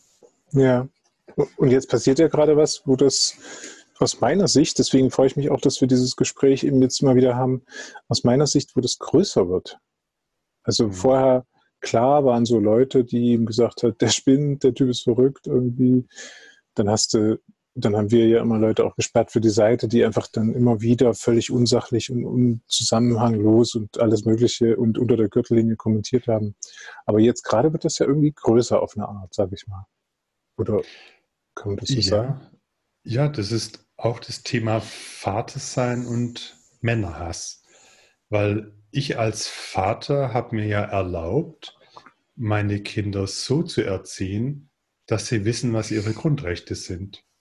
Nämlich, ich weiß, ganz schlimm, ähm, ich habe im Grunde verfassungskonform denen gesagt, dass sie das Recht haben, bei beiden Eltern zu leben. Hm. Wohlgemerkt, nachdem die Kinder zu mir gesagt haben, sie würden nach der Trennung gern bei beiden Eltern leben. Hm. Ja, das kam von denen. Also meine älteste Tochter, die hat vor drei Jahren, als ich ihr gesagt habe, du, also das ist jetzt endgültig, Papa und Mama trennen sich, hat sie gesagt, okay, das ist schade, aber dann haben wir jetzt zwei zu Hause. Hm. Dann habe ich so angefangen zu überlegen, habe gedacht, ja genau, weil vorher wusste ich nicht, wie wir es machen, weil ich immer noch gedacht habe, okay, vielleicht wird es ja noch was, ja, im Trennungsjahr. Hm. Aber als das Trennungsjahr vorbei war, war klar, das wird eben nichts mehr. Und solange das Trennungsjahr nicht vorbei war, wollte ich auch nichts ändern, ja, daran, wo die Kinder leben, wie viel Zeit die mit wem verbringen. Aber nachdem meine älteste Tochter das gesagt hat, war mir klar, okay, die sollen zwei zu Hause haben. Und das ja. war auch in meinem Sinne. Dann hat mir ein paar Wochen später jemand gesagt, du, da gibt es so einen BGH-Beschluss, Wechselmodell, kann gegen die Mutter angeordnet werden. Ich so, aha, gegen den Willen der Mutter. Hm. Gegen den Willen der Mutter ich wusste gar nicht, was das Wechselmodell ist. Ja, dann hat mir das die Person erzählt. Und dann bin ich zu den Kindern, die halt da alle gesagt haben, ja, zwei zu Hause finden wir toll. Und dann habe ich gesagt, ja, da gibt es so ein Wechselmodell. Das ist, glaube ich, genau das. Dann, ja, genau, Wechselmodell, das wollen wir. Wir wollen halbe, halbe bei euch sein und so weiter. Mhm. Gut. Und da habe ich gesagt, ja, das ist ja auch so, dass die Eltern gleichberechtigt sind. Das finde ich deshalb auch toll, ja, und ihr sollt ja auch bei beiden Eltern leben. Das ist gut für eure Entwicklung. Finde ich prima. Und genau das wird mir ja vorgeworfen vom Gericht, dass ich mein Vatersein so lebe, dass ich meine Kinder über ihre Grundrechte aufkläre und ihnen ja ermöglichen will, dass sie bei beiden Eltern leben können, so wie sie sich auch wünschen. Und dieses das wird dir ja nicht vorgeworfen, sondern dir wird ja vorgeworfen, dass du sie instrumentalisierst für deine, um deine Macht auszuweiten. Ja, im Grunde wird mir ja vorgeworfen, dass meine Kinder mein Vater sein gut finden. Weil wenn die Kinder ja bei mir sein wollen, genauso oft wie bei der Mutter, dann haben die mich ja genauso lieb wie die Mutter. Hm. Aber das kann ja nicht sein. Also zumindest verstehe ich so die Lüge des Gerichts, so sehe ich es mittlerweile, das ist eine pure Lüge, dass ich unsere Kinder negativ beeinflussen würde, damit die sagen, sie wollen bei beiden Eltern sein. Ja. Damit spricht ja das Gericht den Kindern ab, dass sie mit mir zusammen sein wollen, so oft wie mit der Mutter. Das ist eine Bevormundung der Kinder. Mhm.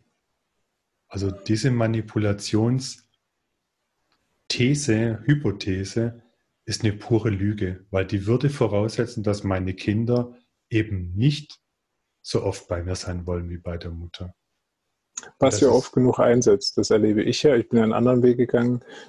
Die Kinder haben zwei Jahre dafür gekämpft, ja, also auch bis in den mütterlichen Haushalt rein. Immer wieder, zwei Jahre wirklich. Sie haben bei mir auch Tränen geweint, weil sie nicht zur Mutter gebracht werden wollten. Ähm, und irgendwann geben die Kinder auf. Die halten das ja nicht, die halten das ja nicht aus. Diesen, diesen Konflikt und geben auf und geben sich geschlagen, resignieren. Das ist halt wirklich furchtbar als Vater dann zu sehen.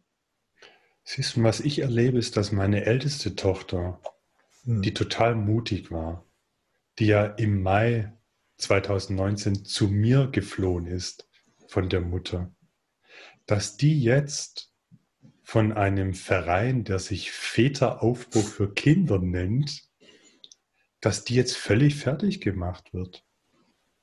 Auf welche Weise findet das statt?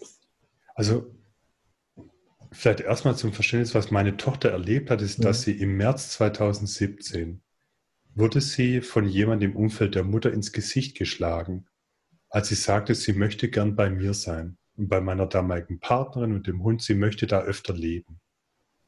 Da wurde sie ins Gesicht geschlagen, hat geweint und ist in ihr Zimmer gegangen.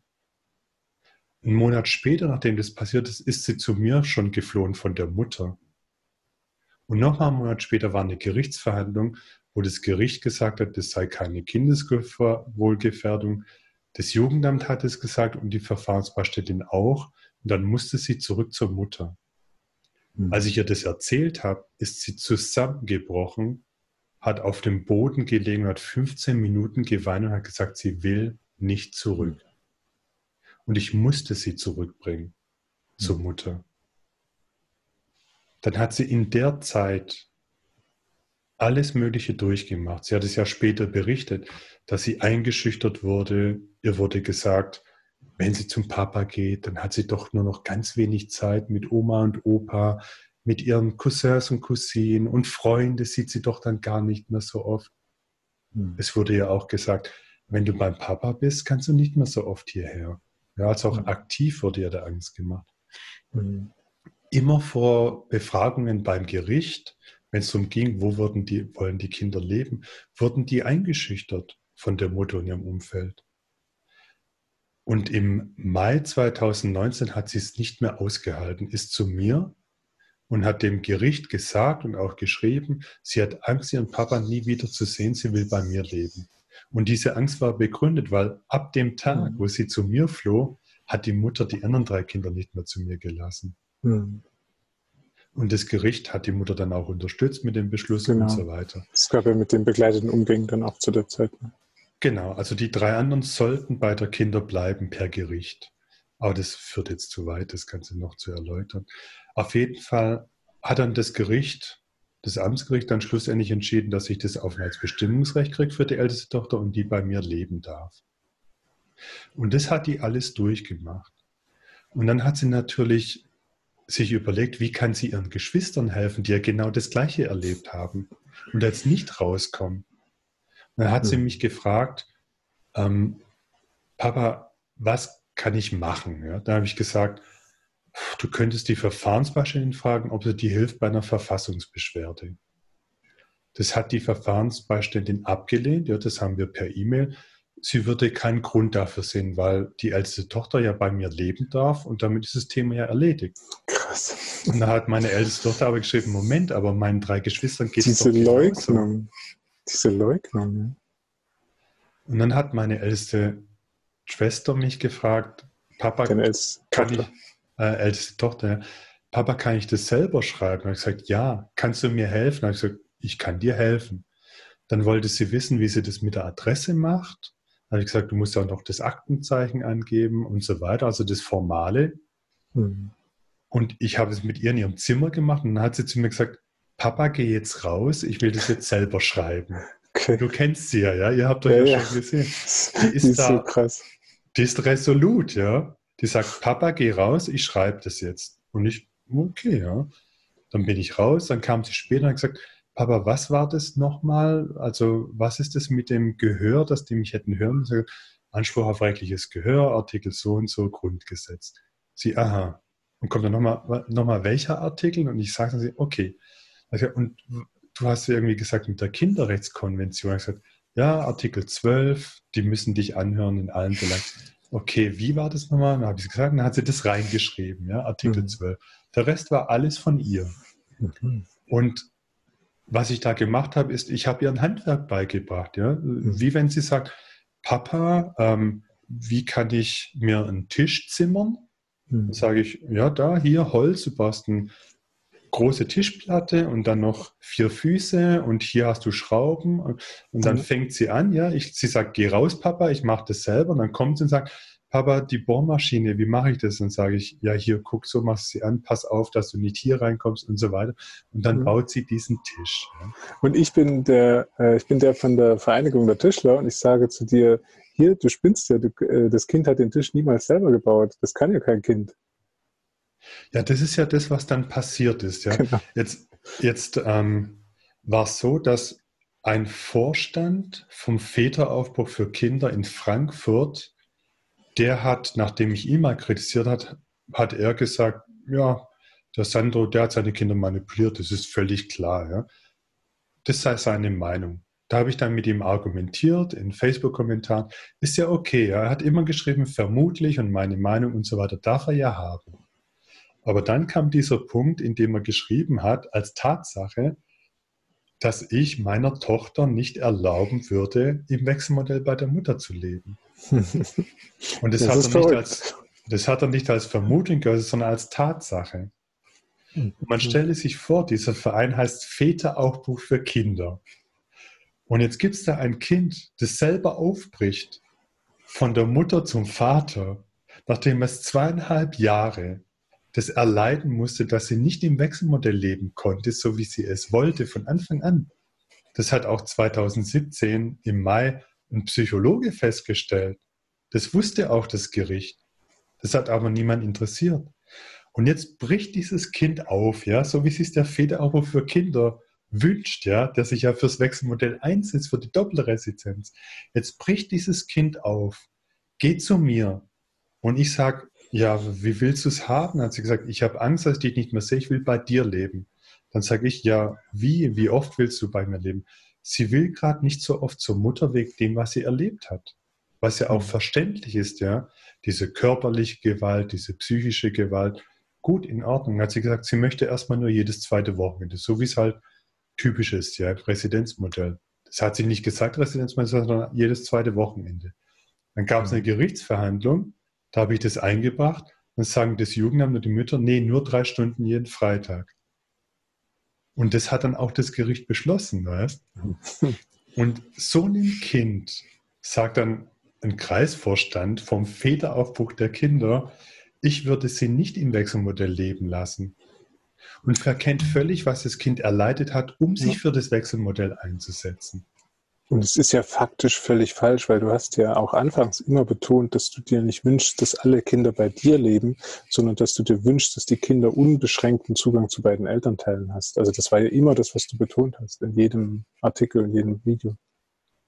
Genau, und auch jetzt ist mein Ziel immer noch, dass auch ja. die älteste Tochter, die bei mir lebt, irgendwann, wenn sie es kann, seelisch, psychisch, wenn sie es will, auch wieder hälftig bei der Mutter lebt, weil sie braucht ihre Mutter.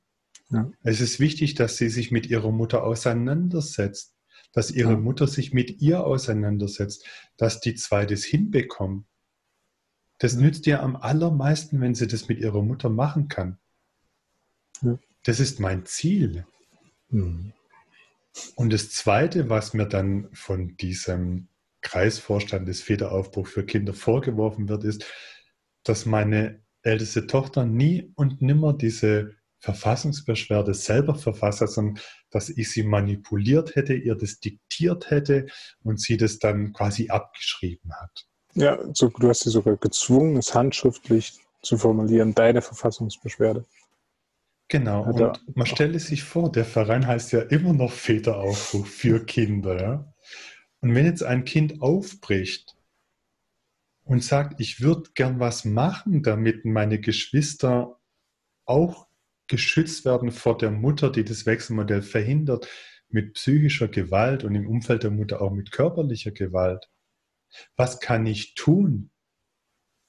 Und ich kläre sie über ihre Grundrechte auf und die Verfahrensbeiständin verweigert ihre Hilfe und ich helfe dann meiner Tochter. Und dieser Väteraufbruch für Kinder sagt dann, das kann nie und nimmer sein, dass eine Elfjährige eine Verfassungsbeschwerde schreibt.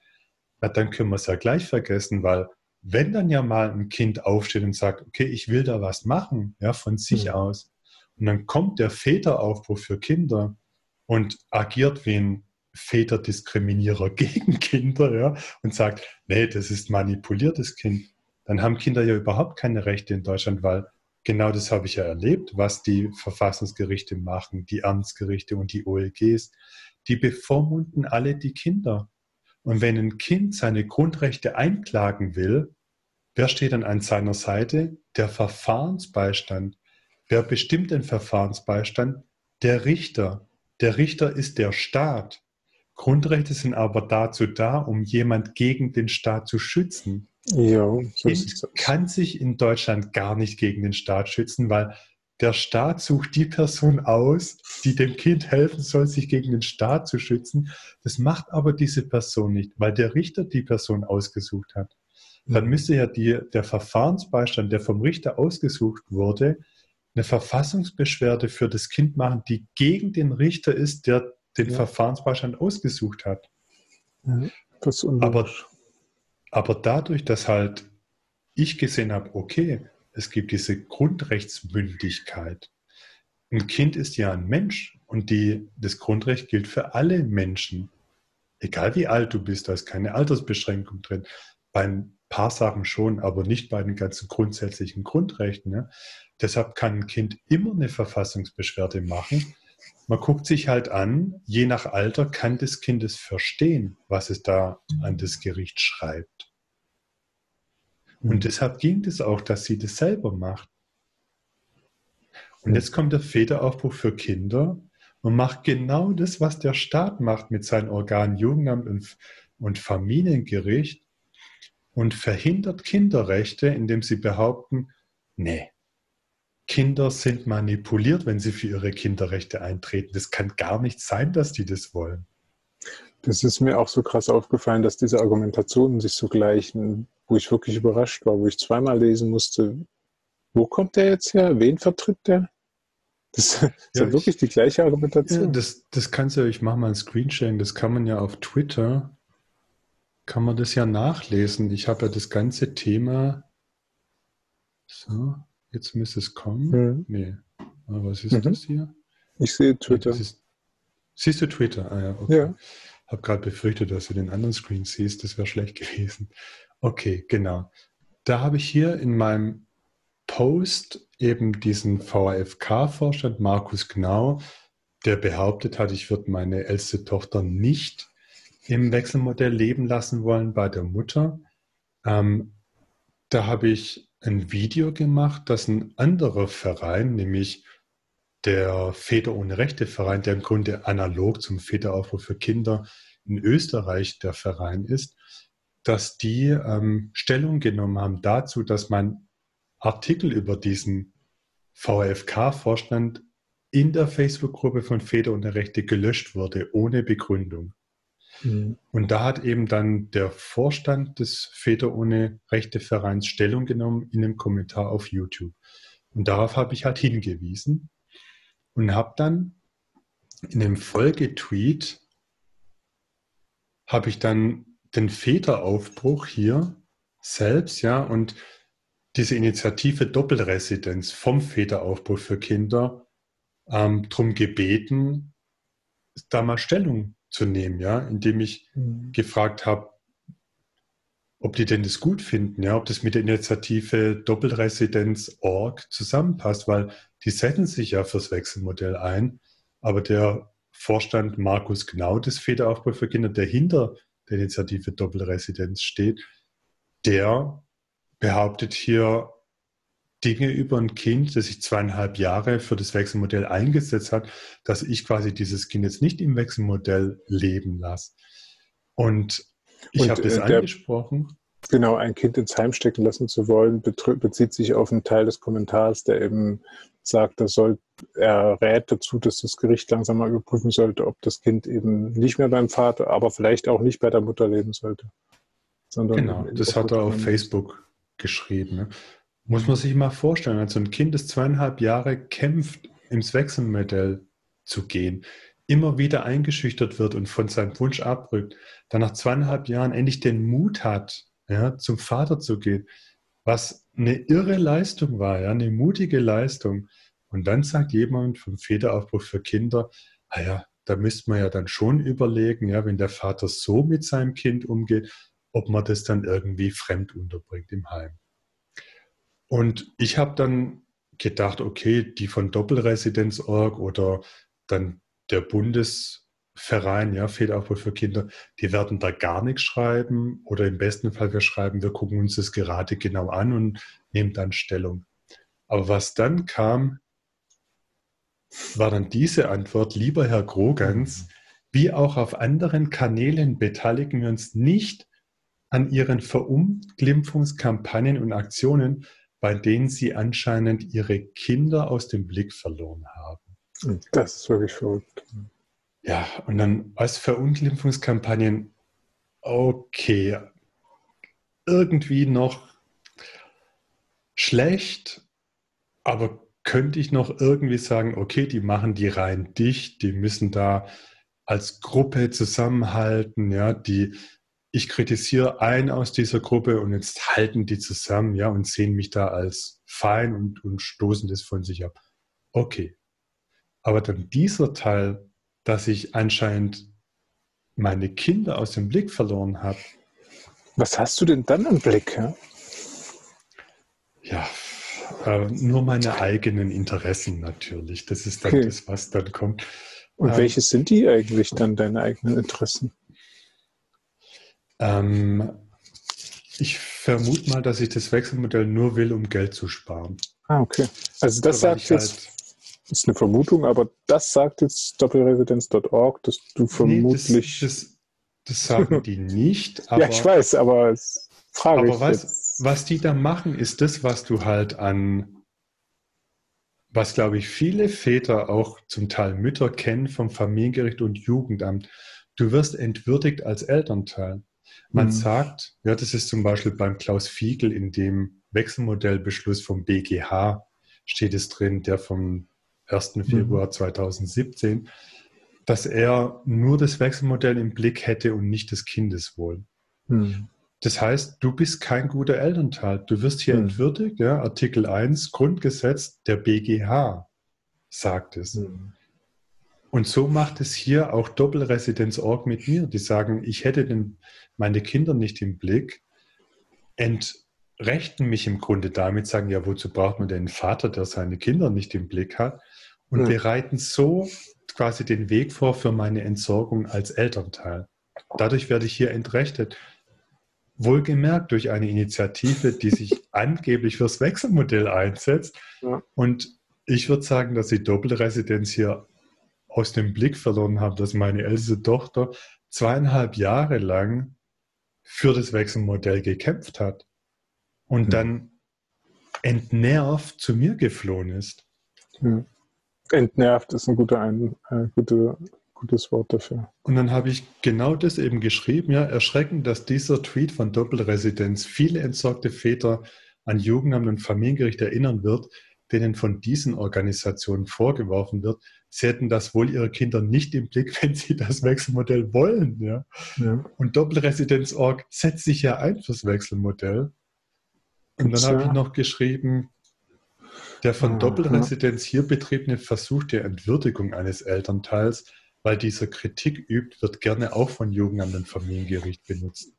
Quasi als nähere Erklärung nochmal. Genau. Und dann weißt anstatt es zu reflektieren, kommt dann dieser Tweet von dem Markus Witt persönlich, der Bundesvorstand ist vom Federaufbruch für Kinder und auch Vorstand oder Hauptsprecher für die Doppelresidenz.org, der dann hier schreibt, wenn alle, selbst die einem wohlgesonnenen Kritik an einem üben, dann sollte man zumindest mal in Erwägung ziehen, ob diese berechtigt sein könnte. Das das hat mich dann wirklich enttäuscht. Ich habe ihn auch persönlich kennengelernt. Also es ist ja nicht falsch, was er sagt. Wenn Kritik geübt wird, dann sollte man in Erwägung ziehen, ob das berechtigt sein könnte. Aber in diesem Zusammenhang ist das wie eine Phrase aus dem Schlagwortverzeichnis. Ja, eine Phrase, sowas kannst du in einem äh, Familiengerichtsbeschluss lesen. Genau. Oder in einer Jugendamtsempfehlung. Und weißt du auch, dieser Anfang, wenn alle. Ja. Markus, du bist auch alle. Ah, ach so, ja. Also wenn alle an Kritik alle? an einem üben. Also ich auch. Weil ich bin dir sogar wohlgesonnen und selbst ich übe Kritik an dir. Ich denke, mit alle ist ja auch nicht nur der Planet Erde gemeint, oder? Sind damit auch alle extraterrestrischen Lebewesen. Das geht jetzt zu weit. Das geht jetzt zu weit, Sandro. Und da müssen wir wissen, ob die Kinder kriegen, ob da das Wechselmodell eine Rolle spielt bei den Aliens. Aber das enttäuscht mich wirklich. Also das ist, ähm, für mich ist das, also diese, diese Haltung, dieser Standpunkt ist für mich ein Ausdruck von Inkompetenz. Das ist in dem Sinne Inkompetenz, weil es davon zeugt, dass man sich mit der Sache überhaupt nicht beschäftigt hat. Und aus meiner Sicht bereitet das Doppelresidenz äh, ja vor, also diese Nichtbeschäftigung mit der Sache. Dieses, wir sagen lieber nichts, weil wir fürchten uns irgendwie davor oder so wirkt es auf mich. Ja, auf, auf mich wirkt es auch so ähm, bemutternd oder bevaternd, weißt du, paternalistisch. Also, Lieber Sandro. Ja, also selbst die Wohlgesonnenen, ja, dass wir das Wort Wohl drin, wie beim Kindeswohl, ja. Markus Witt weiß, wer mir wohlgesonnen ist. Und er mhm. weiß, was die alle in meinem Wohl für mich wollen. Ja? Das ist so dieses Kind, ich weiß besser als du, was für dich gut ist. Wenn du sagst, du willst Sängerin werden, sage ich dir, nein, studier Jura. Ist sicherer. Ich weiß besser, was für dich gut ist. Und das ist genau das, was ja die Familiengerichte machen und die Jugendämter, dass die sich paternalistisch aufschwingen und so tun, als wüssten sie besser als die Eltern, was gut für die Kinder ist. Und hier mhm. weiß ein Markus Witt viel besser als ich, was denn für mich gut ist und was denn jetzt den Blick, ja, ich denke, diese Doppelresidenz-Org-Tweet hat auch er geschrieben, ähm, was denn für meine Kinder gut ist. Und da schwingt so dieses mit, als würde ich mich von ihm beraten lassen wollen, weißt, als wäre das irgendwie so, als müsste ich auf ihn hören. Aber ich habe ihn nie darum gebeten, mich in irgendwas zu beraten. Ja. Schon diese Haltung allein ist hm, auch wieder so typisch für Familiengericht und Jugendamt auf die Art, wir müssen sagen, was die richtige Erziehung ist. Und so machen die es ja bei mir, die sagen, nee, der Vater darf nicht mit den Kindern übers Wechselmodell reden. Der darf die nicht zur Gleichberechtigung erziehen und er darf ihnen nicht sagen, dass sie das Recht haben, in Gleichberechtigung erzogen zu werden. Da geht man auch so paternalistisch mit mir mhm. um. Und dann sagt jemand von einer Organisation, die sich eigentlich für das Wechselmodell einsetzt, ja, für das ich sanktioniert werde, weil ich es vor Gericht öffentlich und meinen Kindern gegenüber vertrete, der sagt dann, ich soll doch bitte die Kritik annehmen, die er mir frei Haus liefert. Und es sind auch noch alle, wirklich alle. Ist es dann, hast du das Gefühl, wir tauchen da äh, irgendwie in eine neue Ära ein? Also ist irgendwie alles zu spät langsam oder so? Jetzt mal ganz pessimistisch ausgedrückt. Also mir ging es spätestens bei diesem Tweet wie dir, ich fand den total erschreckend, abstoßend und extrem enttäuschend. Mhm. Was ich hier sehe, ist, dass der Federaufruf für Kinder und Doppelresidenzort, die vertreten das Ziel des Wechselmodells ohne Werte. Mhm. Ja, wir hatten das ja am Anfang, dieses Thema. Ja. Die, die vertreten das ohne Werte, sag nochmal, ja, begründ das nochmal. Also sie haben ein Ziel, hinter dem keine Werte stehen, die zu diesem Ziel passen. Okay. Ich, ich kontrastiere es mal mit meiner Haltung, was das Wechselmodell angeht. Und hm. Haltung jetzt nicht im Sinne von Framing, ja, wie hier bei der ARD, sondern im Sinne von, warum macht das Grundgesetz Sinn und warum, wie ich am Anfang gesagt habe, ist das Grundgesetz bedingungslose Liebe? Hm. Ich fange mal so an, wie du in deinem Post, ja, was ich hm. mir wünsche. Ich hätte mir gewünscht vom Federaufbruch für Kinder, dass sie sagen, okay, danke für den Hinweis, wir schauen uns das Ganze an. Dann schauen sie sich an, dann sagen sie, okay, wir haben die und die Punkte gefunden, können wir reden darüber. Das ist das, wie man gleichberechtigt miteinander umgeht. Das ist ja der Markus Witt ein Mann und ich bin ein Mann. Gleichberechtigung, Artikel 3 Absatz 2, da geht es um Gleichberechtigung von Mann und Frau. Es geht aber auch darum, dass wir als Menschen ja gleichberechtigt sind. Und dazu gehört, dass ich respektvoll mit dem umgehe, was mir jemand sagt, auch wenn es Kritik ist. Und was ich hier sehe, ist, dass der Markus Witt, der verwendet hier die gleichen Mechanismen, wie es Familienrichter machen oder Jugendämter, aber auch die Gleichstellungsfeministinnen. Es wird hier gleich emotional ja, gesprochen von einer Verunglimpfungskampagne. Mhm. Das ist so wie bei dir, das ist ein Totschlagsargument. Mhm. Weil dann muss ja ich sagen, Moment, wenn ihr sagt, das wäre Verunglimpfung, ich aber einen Punkt bringen, nämlich dass der mhm. Markus genau gesagt hat, ich würde meine älteste Tochter nicht im Wechselmodell bei der Mutter leben lassen. Wenn ihr sagt, es ist eine Verunglimpfungskampagne, dann ist ja, dass ihr das sagt, eine Verunglimpfungskampagne gegen mich, weil ihr nehmt es ja nicht sachlich auf, was ich euch da mitteile. Und dann ist die Diskussion zu Ende, weißt, weil dann guckt man sich das Problem gar nicht an. Und so war es ja. ja. bei dir auch. Das habe ich auch gemerkt. 50 Prozent der Zeit ging da für uns Land, dass ich immer wieder betont habe, ich benenne ein konkretes Problem und kritisiere das und ich zeige auf, was ich mir wünsche. Aber das, das kommt da überhaupt gar nicht an. Nee, und warum dieser Tweet von Markus Witzer erschreckend ist, ist, hier ist so diese, ich sag mal, totalitäre Erziehungsform drin. Mhm. Also ich sehe, dass er ich sage mal, gut deutsch erzogen wurde. Ich sage jetzt nicht als Nazi, sondern auf eine Art und Weise, wo noch diese Obrigkeitshörigkeit drinsteckt. Weil was er ja sagt, ist im Grunde, ja, Sandro, wir alle. Also solltest du auf uns hören, ja?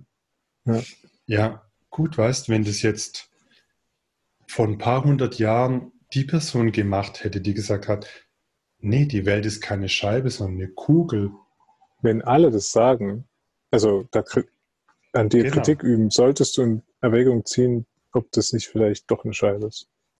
Dem hat man ja auch gesagt, Moment, Bibel, hier, wir, die Gelehrten, ja, alle Gelehrten sagen dir, es ist eine Scheibe. Und die Wohlgesonnenen sagen, Bibel. du revidiere lieber, sonst kommst du ins Feuer oder so. Genau, also der Markus Witt tut hier so, wie wenn er ein Sprachrohr ist, eine Autorität, und sagt, ich spreche für alle, also für mich nicht. Damit sind schon mal nicht alle, aber ich bin ja sozusagen auf der anderen Seite von alle, wie Martin Luther auch. Ja, hier stehe ich nun. Ich kann nicht anders. Und das ist, ich sehe hier dahinter diese, genau die Erziehungsform, die ja durch das Wechselmodell durchbrochen werden soll. Und mhm. da sind wir jetzt bei den Werten. Wenn mein Kind zu mir sagt, Papa, ich will nicht mehr zur Mama wegen dem, was die alles gemacht hat, dann verstehe ich mein Kind. Und dann akzeptiere ich das auch. Aber mein Ziel ist, dass mein Kind sich mit seiner Mutter auseinandersetzt. Mhm. Wie auch immer. Und wir einen Weg finden, dass es mit seiner Mutter zusammenkommt. Weil das, was seine Mutter macht, ist auch in meinem Kind, das zu mir geflohen ist. Mhm. Mein Kind wird, wenn es sich nicht bewusst darüber wird, was die Mutter da mit ihm gemacht hat, wird es das Gleiche mit mir oder anderen machen. Wir tun immer den anderen das an, was die uns angetan haben. Und wenn ich jetzt hier sehe, wie der Markus mit, Witt mir das antut, was ihm am Familiengericht angetan wurde, nämlich wahrscheinlich hat man zu ihm gesagt, also Herr Witt, die Verfahrensbeiständin, das Jugendamt, der psychologische Gutachter, alle sagen Ihnen doch, dass das Wechselmodell nicht gut ist für Ihr Kind. Und jetzt tut er das, was man ihm angetan hat, mir an. Und deshalb brauchen wir das Wechselmodell, um diese Spirale zu durchbrechen, um anzuerkennen, Moment, es geht nicht darum, dass wir vom anderen Gehorsam verlangen. Ja? Im Grunde verlangt er ja Loyalität. Er mhm. sagt, wir sind dir wohlgesonnen, ja? du solltest uns loyal sein und das, mhm. was wir dir sagen, verinnerlich das mal, um uns zu folgen. Ja, das, das, das kann ich da jetzt auch Familie. rauslesen. Ja. ja äh, Im Grunde macht er hier einen Loyalitätskonflikt mit mir auf. Er sagt, hör uns zu oder schleich dich. Hm. Nichts anderes. Weil du unbelehrbar bist, ja. Also du bist unbelehrbar, steckt da noch hinten dran äh, zwischen Richtig. den Zeilen. Beratungsresistent.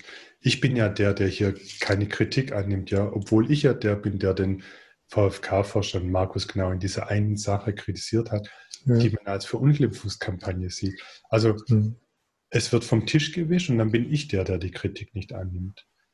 Täter-Opfer-Umkehr. Genau.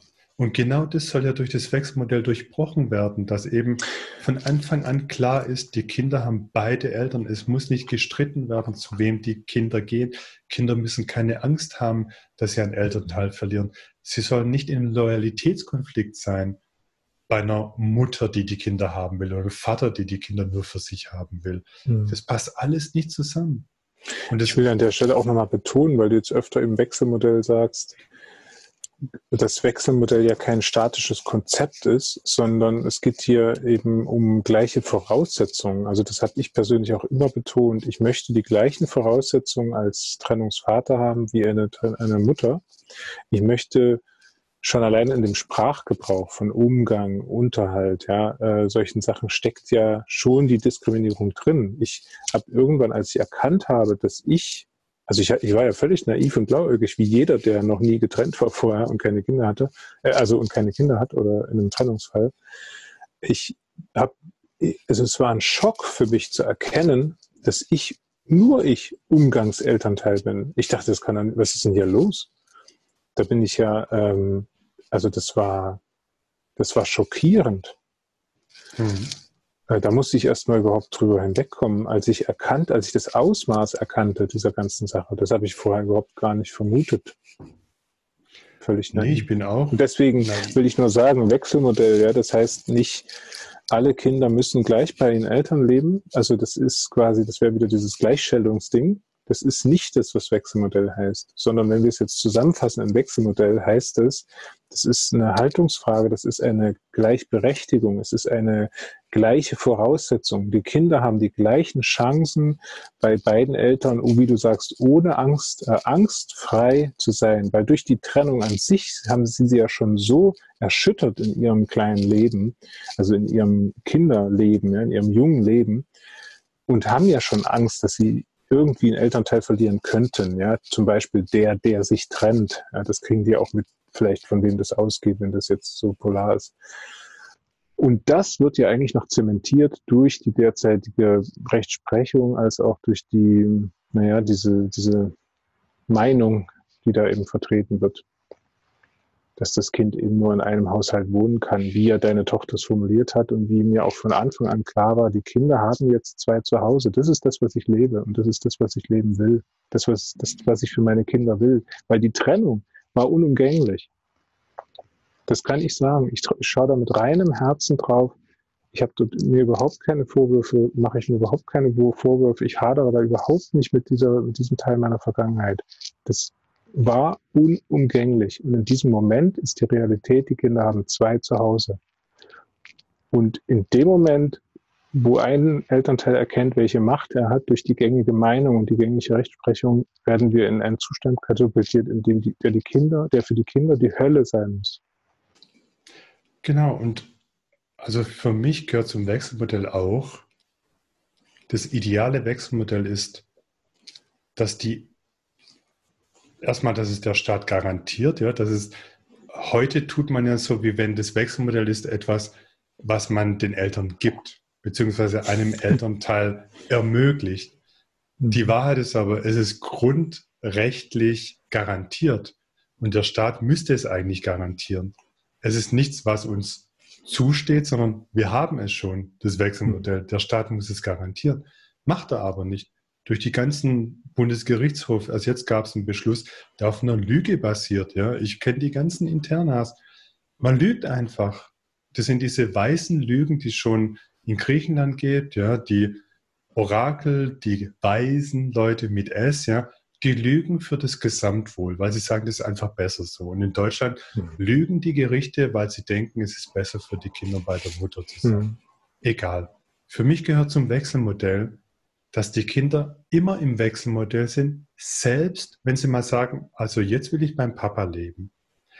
Weil zu der Entwicklung von einem Kind gehört dazu, dass es sich mal zum einen Elternteil, mal zum anderen gezogen fühlt.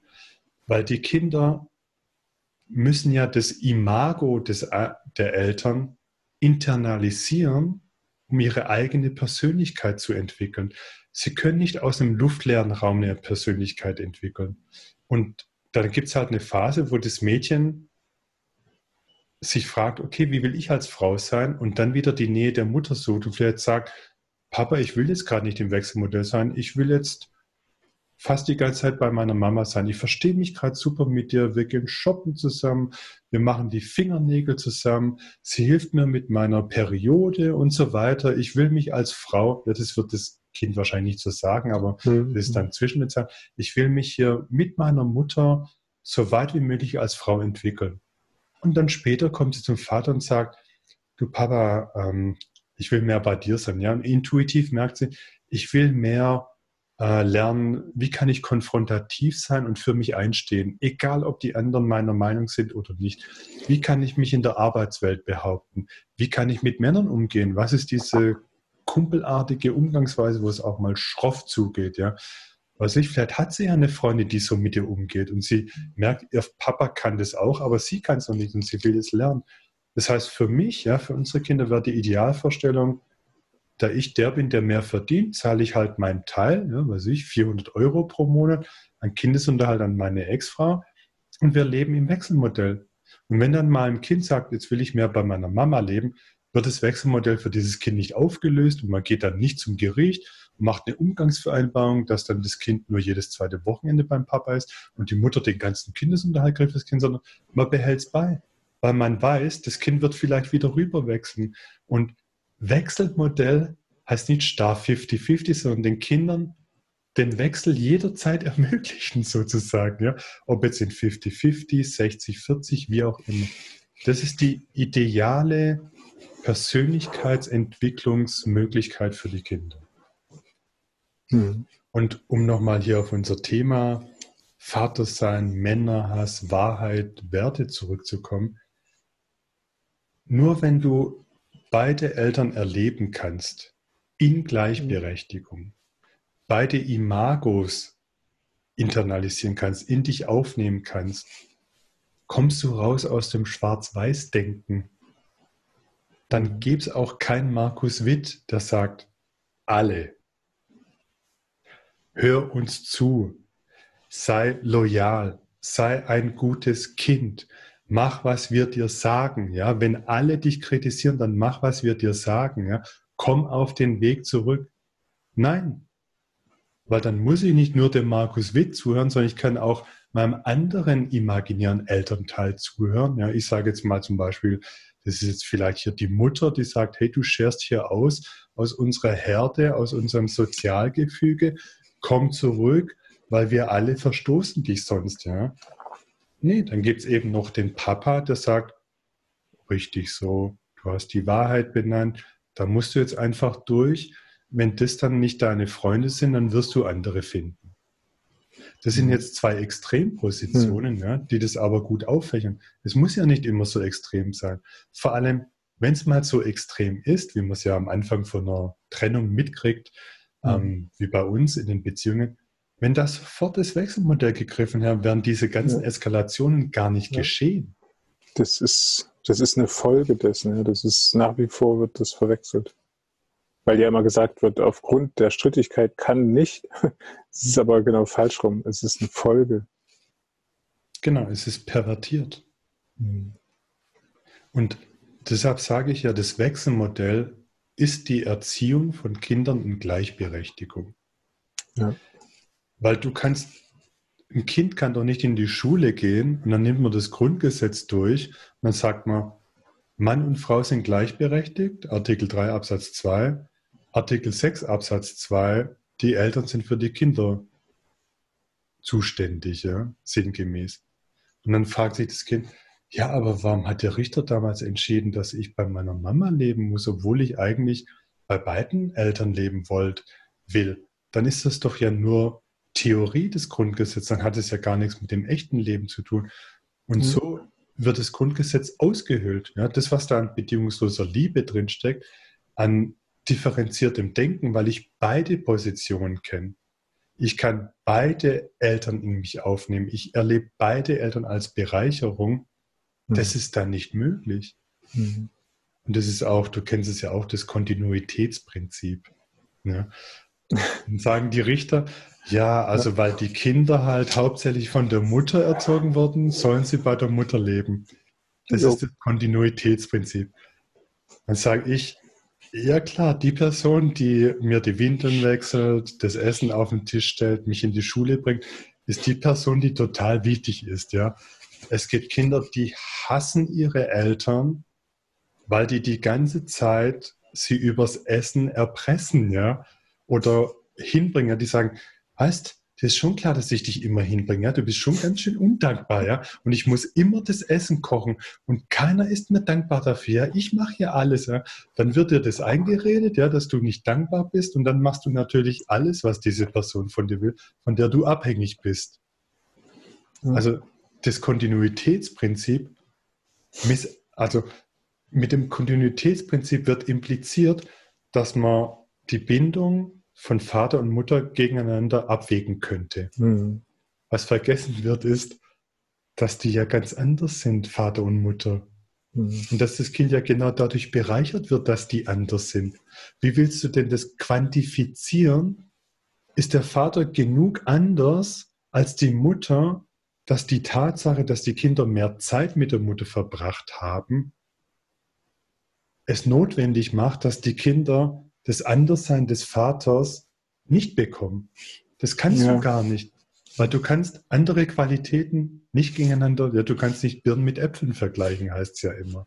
Mhm. das ist genau Kontinuitätsprinzip hieße ja auch, ähm, äh, die Mutter darf dann nicht mehr arbeiten oder nicht mehr Geld verdienen oder was auch immer, ja, so Karriere machen als früher. Weil es ist ja, es unterliegt ja sicherlich dann auch dem Kontinuitätsprinzip. Genau. Das ist, die Mutter soll in ihrer Rolle bleiben. In ihrer Rolle, genau. Genau, und ähm, wir müssen, glaube ich, bald aufhören, weil meine älteste Tochter demnächst zurückkommt vom Umgang mit der Mutter und ihren Geschwistern. Ähm, Nochmal zu Werten und Wahrheit. Wenn du bei nur einem Elternteil aufwächst, fällt es dir sehr schwer, die andere Seite zu sehen, weil du musst da hm. loyal sein. Ne? Deine Mutter bei der du leben musst, ja 90 Prozent der Trennungskinder leben bei der Mutter. nach Gerichtsverfahren. Stirbt der Hund? Nee, der, die spielt gerade irgendwie darum. Ähm, und dann siehst du die andere Seite nicht. Ja? Du kannst nicht differenziert unterschiedliche Perspektiven wahrnehmen. Und dann kriegst du Kommentare wie bei dir, ja, dass sich eine Person, ich schätze mal, die ist von einem Elternteil allein erzogen worden, sich in eine Ideologie flüchtet, ja, feministische Basics, Diversität, äh, Intersektionalismus, ja, weil sie keinen Halt hat. Weil da war nur eine Person in ihrem Leben, die wichtig war, von der sie völlig abhängig war.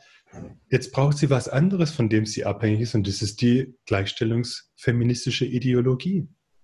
Weil die Alternative wäre Nihilismus, zu sagen, mhm. Ah ja, äh, das Leben macht ja gar keinen Sinn. Also meine Mutter war die, die einzige, von der ich irgendwie was erfahren habe und es gibt da nichts anderes mehr, ja. Sie ist die Einzige. Also wer bin ich? Ich bin ja niemand. Ich war ja nur für meine Mutter da, die mich gebraucht hat, damit sie nicht ganz alleine ist. Ja? Also mhm. bin ich niemand. Stattdessen geht sie wieder im Grunde die totalitäre Erziehung rein, die die Mutter ihr gegeben hat, und sucht sich eine Ideologie. Mhm. Und da siehst du dann auch, wie individuelle Erfahrung mit gesellschaftlichen ja. Entwicklungen zusammenhängt. Ja. Deshalb ist es auch so gefährlich, das Residenzmodell ja, ja. Als die das Nazis, verstärkt. Genau, die Nazis wollten ja auch, dass die Kinder von der Mutter erzogen werden und der Vater an die Front geht. Ja, die Mutter sorgt für das Kanonenfutter, das männliche Zuhause, das dann nachgeschoben wird, und die Mädchen sorgen für neues Kanonenfutter. Ja. Das ist so gefährlich, weil es eine totalitäre familiäre Struktur ist. Hm. Und die sorgt dann wieder für ein, im Größeren für ein totalitäres, also begünstigt im Größeren wieder ein totalitäre, totalitäres System. Genau, weil du kann, kennst es ja nicht anders. Mhm. Und der VAFK, der Väteraufbruch für Kinder, spielt genau dasselbe Spiel. Wir sind dieser Verein, wir müssen jetzt zusammenhalten, seid alle loyal, wir stehen hinter dem Markus Gnau. Wir sagen, das, was der Sandro da erzählt, ist eine Verunglimpfung. Und wir halten jetzt zusammen, wir müssen loyal sein, wir lassen da keine Kritik zu. Das ist alles Schwachsinn. Ja, die können die andere Seite nicht sehen, weil diese Väter und auch Mütter, die da zum Teil Väteraufbruch für Kinder drin sind, mhm. die wurden hauptsächlich von einem Elternteil erzogen, wahrscheinlich die Mutter, ja, wie es halt damals traditionell war, und haben die das diverse Denken, ja, die Diversifizierung im Denken nicht erlebt. Deshalb ist es ja auch so paradox, dass dir vorgeworfen wird, du hättest keine Ahnung von Diversität, dabei versuchst du differenziert zu denken. Mhm. Und willst ja Kritik aufnehmen, willst hören, was denken andere darüber. Mhm. Mhm. Ja, Sandro, ich fand es sehr bereichernd. Ich äh, danke dir für das Gespräch. Hat mich darauf gefreut. Ich danke dir auch. Herzlichen Dank. Ja. Dann sehen wir uns wieder in der Halböffentlichkeit auf Facebook, Twitter und YouTube. genau. Und lass uns wieder alles Mögliche vorwerfen. Ja.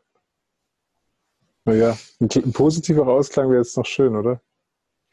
Ja, also was mir die Sache mit dem VRFK gelehrt hat, und da sind wir dann wieder bei deinem Post, ist, ich habe mich bisher so fokussiert darauf, diesen Irrsinn am Familiengericht und Jugendamt darzustellen, hm. wie die da ihre Lügenkonstrukte aufbauen, um das Wechselmodell zu tabuisieren innerhalb der hm. Trennungsfamilie.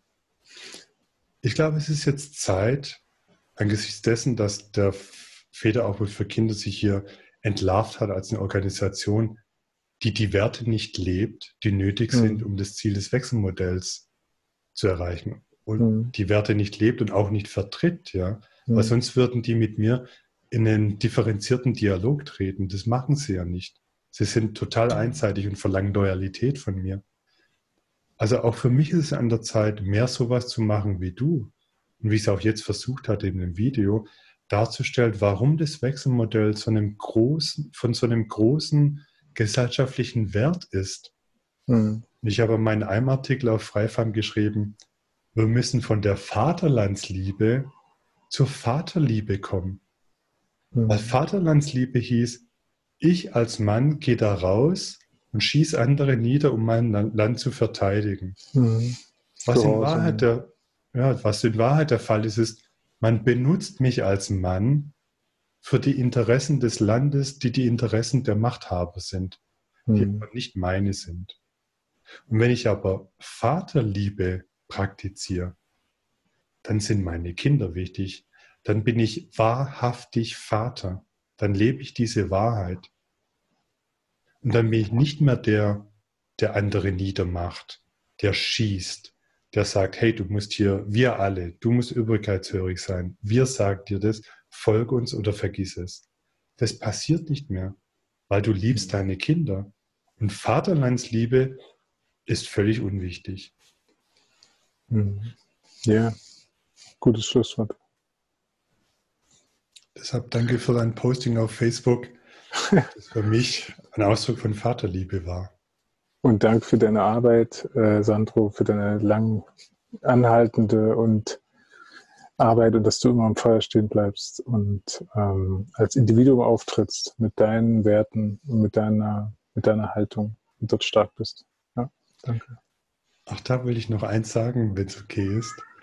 Wegen im Feuer stehen, das kannst du aus der ähm, Verhaltenstherapie sehen. Es geht nicht darum, dass jemand die Angst verliert, zum Beispiel vor Fahrstühlen, ja, wenn er Angst vor engen Räumen hat. Es geht darum, dass man immer mutiger wird. Mhm. Das ist der Effekt an der Verhaltenstherapie. Mhm. Deshalb werde ich auch mhm. immer den nächsten Schritt machen, ja, und immer mutiger werden. Wenn Leute wie der Federaufbruch für Kinder sagen, du, jetzt nimm mal unsere Kritik hier ernst, ja, und hör mal zu, was wir dir sagen, werde ich, wie jetzt hier im Video, noch mutiger einfach das sagen, was ich als Wahrheit sehe. Und ich weiß nicht, was die machen, ja, ob die mich dann jetzt anzeigen wegen Verleumdung oder was weiß ich was, ja, oder hier weiter gegen mich schießen, indem sie sagen, also jetzt ist ja endgültig klar, der Typ ist verrückt, der muss in eine Psychiatrie, ja. das Kind muss bei dem raus und so weiter. Weiß ich ja nicht. Ja. Ich das habe hab ich auch. Gemerkt, ja. Also du kannst nur heilen, indem du immer mutiger wirst. Das kann man aus der Verhaltenstherapie sehen. Das habe ich auch gemerkt, dass nach diesem Aufruhr, nach diesem Post, der schon sehr fordernd und anstrengend war, viel Energie gekostet hat, aber danach hatte ich so ein geklärtes, so ein gesetteltes Gefühl irgendwie in mir. Also so eine Klarheit und so ein, so ein Geerdetsein irgendwie. Das war faszinierend. Ja, genau, weil wenn du mutig bist, dich stellst, im Feuer stehst, sei es Fegefeuer oder unter Beschuss, ja, mhm. dann merkst du, oh, Moment, ich habe davor Angst gehabt, ja, in diesen mhm. Aufzug zu gehen und ich habe Angst mhm. vor engen Räumen. Aber jetzt, wo ich es gemacht habe, war es eigentlich gar nicht so schlimm, ja? ja. Und mit jedem Schritt, den du da machst, wo du mutiger wirst, verwirklichst du dich ja mehr. Und deshalb ja. haben dich auch in dem Post so viele angegriffen. Ah, jetzt kommt sie gerade nach Hause. Muss aufmachen. Dass eben du gewagt hast zu sagen, was du dir wünschst, wie du dich verwirklichen willst und deine Söhne ja. verwirklichen willst. Alles klar, Sandra. Dann, wir sehen uns. Bis bald. Ja. Tschüss. Ciao.